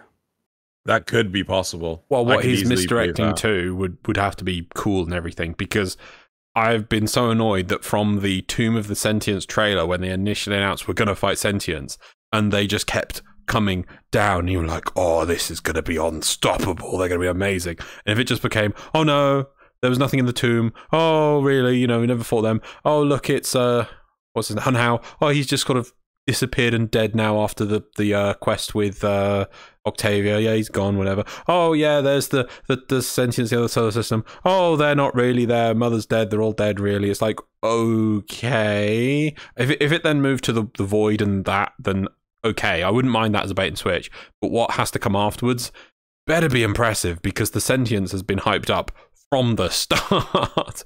Like forever been like, oh yeah, we're gonna fight this unstoppable waves of sentience. Do, do you remember the actual first New War trailer where you see Tau and you see unstoppable Yeah. hordes of so many sentients waiting to come fight us? And then it's just like, oh, but they're all gone. There's just one spaceship left, and we blow that up. Like, oh, Well, the thing is, it's not new. Hmm. We've already from from Warframe from the start. We've we've had to live with the fact that this game relies heavily on the idea of the unreliable narrator. It's true. Uh, it's true. Yeah, yeah. yeah. I would see. I would be fine with that, but I would hope that that Ballas's plans lead into some cool stuff. Yeah. Yeah, that's what I mean. If it's just like, oh, right, well, go back to fighting those Corpus and those Mm. Grineer. gotta, gotta, gotta fight them on. I don't know what map tile. Zinni, Zinni exist anymore? We're gonna go, gotta go save Zinni again. Yeah. Better Change level some weapons. you know, it, it would just be really anticlimactic. So, the, as long as Ballas's plans beyond that are, uh, whoa, I'd be fine with that as a bait and switch. Yeah, that there, there's only a handful of sentients left. Yeah, that that'd be fine. But, but beyond, Mm. Where where where are we at? I I think you we've were derailed. explaining something about the Calibans. Oh yeah, no, I I, I proposed my idea. I, Okay. you know, I just like the idea of that. Right, the last point is from Nick Evans, and that's what happens when Xeno Xeno doesn't tell people how to become a supporter. All the Patreon supporters get Thanos snapped. so the, Um, there's a list at the end of all the Patreon supporters, and it just didn't turn up last week. Oh It's man. Yeah. it's gone. Um, I actually think the server's down at the moment, so it might actually work. so Snap is still in effect. Okay. Yep. Right. Well, that is it for the supplies from last week's episode. Shall we move on to the memes? These are all memes taken from the r slash meme frame subreddit. And if on, you are, hold on, I'm, hold I'm on. speaking to give you time to write down the time. Yeah, but already put the first one up, haven't just you? a meme. I you can wait. You can wait. It's just there for people to watch while I'm spewing But the every- everyone's looking at the meme, and, you're like, missing out on the meme. Is that is that what you're upset No, about? No, I'm trying to get the time down. I put it, I'll put it off. Look, there we go. It's gone now. It's Okay, gone. it's there you go. Happy now? Okay. Right. So if you're ever bored, go to r slash meme frame. They have some lovely memes on there. People are producing memes daily, especially when there's an update out or anything from the uh, information wise, because people just go to town with it and make some great memes. There's also uh, because I only show static memes. There's always the meme video of the week. Oh. I remember what it is this week. In the description below, do go find it. There's a list of all the memes and the secret meme of the week, which is Nightmare Fuel this week. So if you think my beautiful face, which hopefully will be updated next week, is okay, and maybe you think I'm not that expressive, go look like go watch the video if you want to see what I would look like Hold with on, more hold expression. Hold on, hold on, hold on, hold on. I've already seen it, so unfortunately, the surprise is ruined. However, um, I'm gonna ask, um, Nik, can you can you take a look at this right now? Just, just just watch it. memes, okay. right. It's Every, everyone, everyone, look at Nik's face. Right. Make sure you got the sound turned up. Oh, I have to have the sound turned up. Okay, okay, okay, or make, okay. make, you make don't sure really need the sound's turned sound. You No, need- you, Okay, you, okay, can't, you okay. can't, you can't need to do it. It kind of adds. So, uh, wait, which one is it? That have you linked it yet? yeah, yeah, I've given it to him. Okay.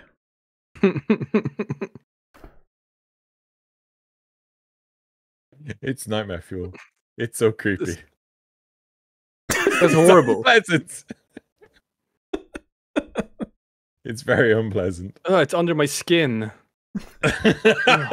Oh, it is, isn't it? Those eyes and the teeth. Yep. Yeah. Okay, you can close that tab now. Save yourself. I'm gonna. Let's go for the normal Yeah. memes. Okay. Right, let's go for the normal memes. Okay. So, so meme number one. Yeah, slide. There we go. Uh, Limbo's backstory is lame. The first we have Okay. Gara. I sacrificed myself to protect the Unum from the sentience. Then we have Inaros. Wait, whoa, whoa, whoa, whoa, whoa! Did she? I Yeah. thought she was just, Yeah. You know, an argument between a couple, and the the guy No. died. And a glass And rose. Ga- Gara was the first Warframe who successfully killed a sentient, and she did it by strapping a nuke to herself and just walking outside the gates and, and clicking the button. Wait, how do you learn this? Is this It's- in the? yeah, it's in the it's in the- fish stuff. Yeah. No, Xeno's making a joke about the uh, the Gara quest That's stupid. that's that's stupid, yeah, where yeah. you get the bloody glass rose, and then they're, they're a couple now. On- Onkko's over there in the corner watching. it's just it's just wrong. okay. Uh, moving on to Inaros.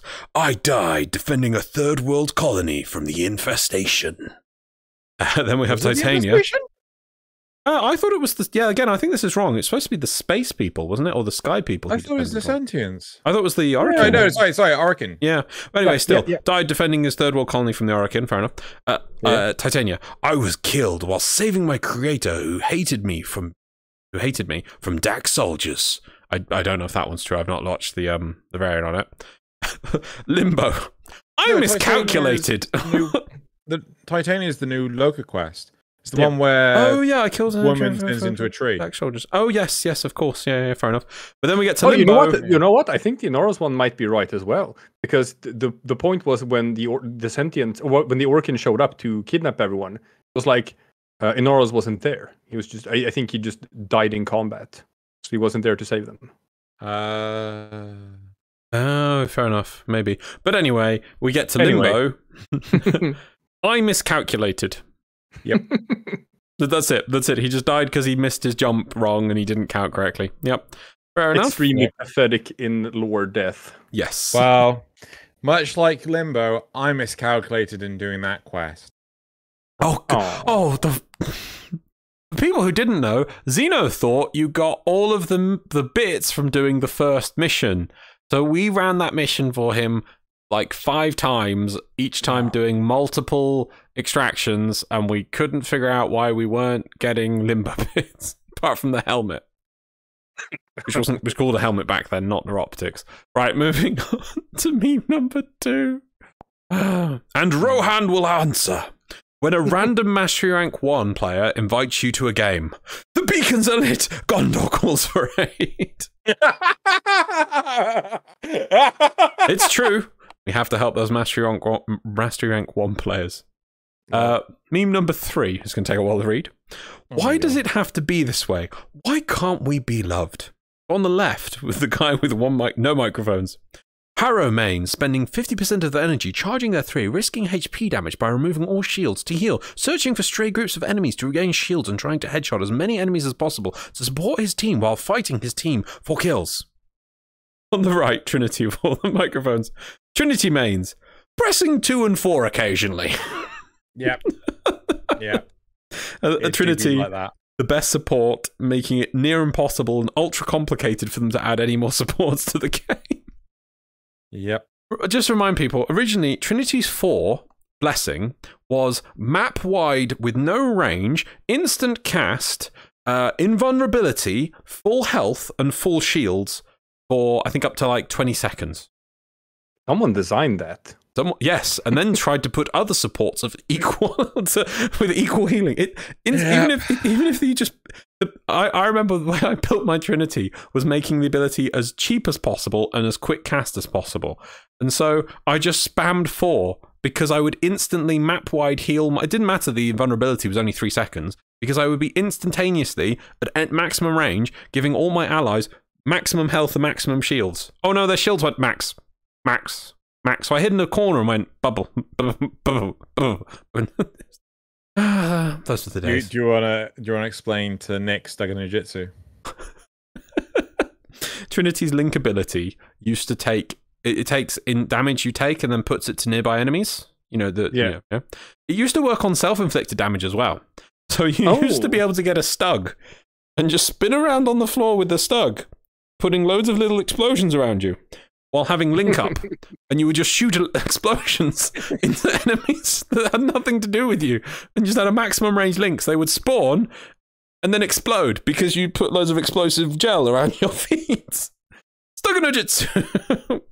they they removed that from the game, and I was sad.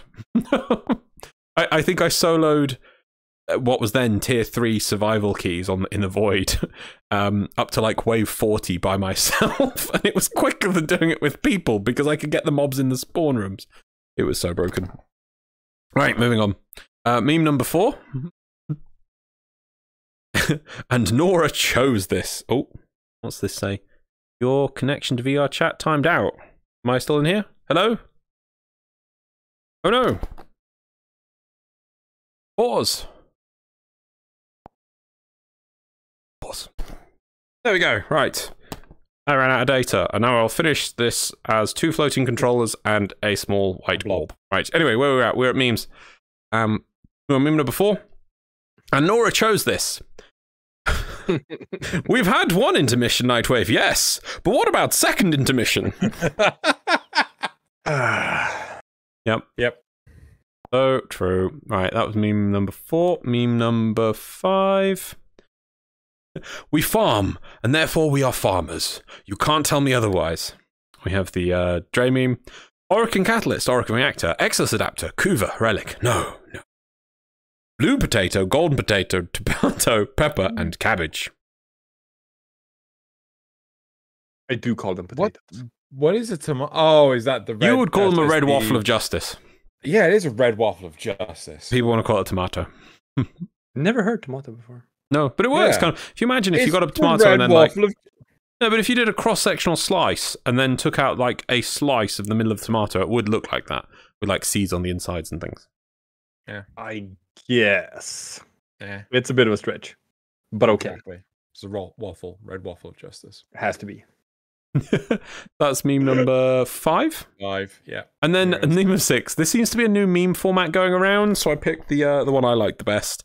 Okay. There's, there was a lot of these. An interesting title. I actually liked the Rel Quest very much, but but what?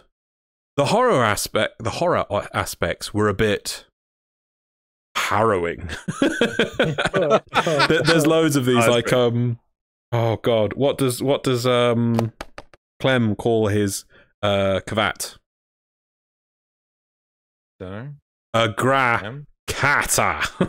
kata. Oh my god. There's- there's loads of these. God. No. Dad level jokes there. Yeah. Jesus. yeah, Right. There okay. go. Well, that's, that's it for this week's memes. Uh, if you want to check out the secret meme, make sure you go into the description below where you'll find secret meme. Isn't that right, Loz? Indeed. Secret meme. But now we're going to move on to the community shout outs, and Loz has spoiled it already. So, first community shout out is Worst MMO Ever Warframe by Josh Strife Hayes. Have you guys watched this? No. No, but I have it recommended to me. I ha- people have said that I should watch it. Yeah, Yeah. I, I did actually watch it. I he has some really valid points in this, but the problem for me is he doesn't seem to go beyond Venus, right? Mm. He doesn't seem to because he he basically says that there is no plot in the game whatsoever. So to me that screams that he's he's barely touched much of the the game and though he has really valid points to the fact that it should hook you a lot earlier after Vor's prize. Um, yeah, we all know that's a uh, a low point in the game. Yeah. Yeah, yeah, yeah. yeah.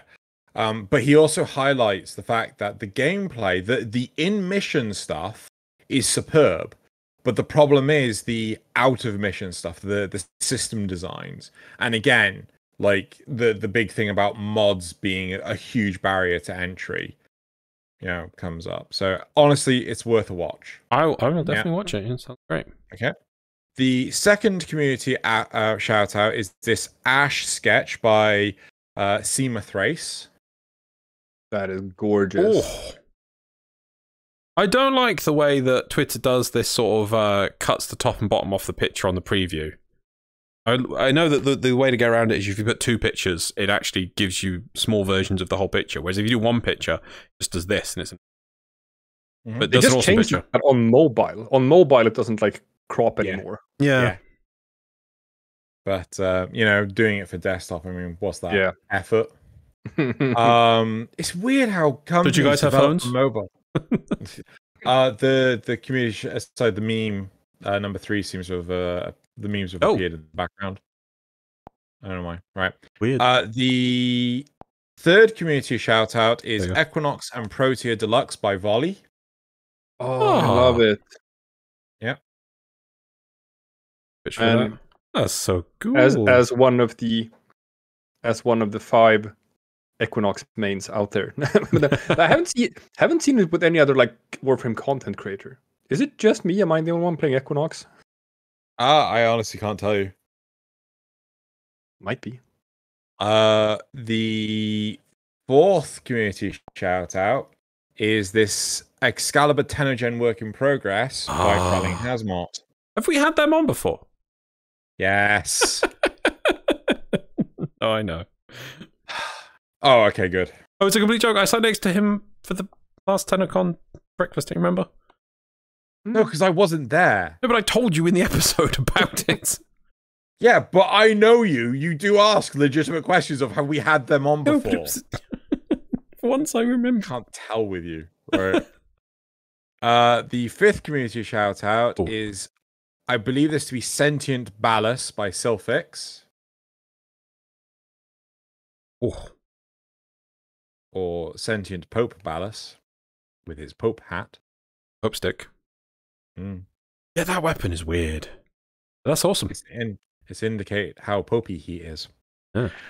And then uh, our sixth community shout out is Banshee by Cleo Naturin. Have we had them on the show? Yes. See, this is what I mean. I can't. I know if being- that. Man, I'm just I just get so envious when I see stuff like this. I used to to draw and illustrate a lot when I was younger. Yeah. And I always sort of think to myself like if I just kept at it, mm, could I also have done stuff like this today? I will never know. you got to do like an, I think an hour a day or something, so to make sure you're Yeah. doing it all the time, always improving, even if you're just doodling. Got to keep doing Oh it. yeah, when you look at a picture like this, this is like ten thousand hours of practice behind it. This is the thing for me Uh. is like when artists go, "This is the first drawing I ever did. This is a drawing I did today," and it's like it's it's freaking night and day in terms of difference. And like, oh yeah, that was only a couple of years ago. I'm like, no, you're fucking lying. You are lying to me. You did that when you were two. Don't lie to me. you you you paid some poor person, some poor invalid child to make this first picture just to trick me. But you don't you don't want to hear it because that means that this could be me as well if I had yeah. put in effort, and I don't want to hear that. yeah, I don't want to hear that. You know, just say So you're a prodigy. For love God.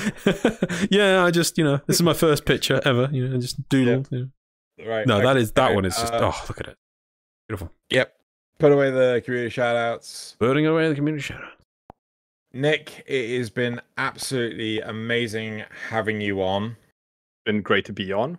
Had Uh, a fun time. Excellent. I'm glad you did. We'll make sure that uh, all your socials, Loz has preemptively hit the button. I think I should at this point. I think I should because we're we're kind of yeah. This is the Yeah, time to hit it. yeah, yeah, we're but- wrapping up. But we'll make sure all your socials are in. Yeah, I just the- remembered. I, I. I never got to do like a sort of a shout out or something in, earlier in the episode about that. wh- wh- What you call it? Twitter? Yes, We no? got, we got we got Twitter. We got we got two star players on Twitter. I do have a Twitch account. I very rarely stream, but it, it's there. Yep. It's uh, two star players Nik. yeah Other than that, it's just you know youtube.com slash slash two star players. Okay. Yeah, we'll get make sure that they're all on there. Everyone go check out Nik. Uh very excellent, cool dude to have on. Very excellent, cool dude indeed. Thank you. Um and uh yeah, we will see you all next time. Bye. Bye everyone. Peace out.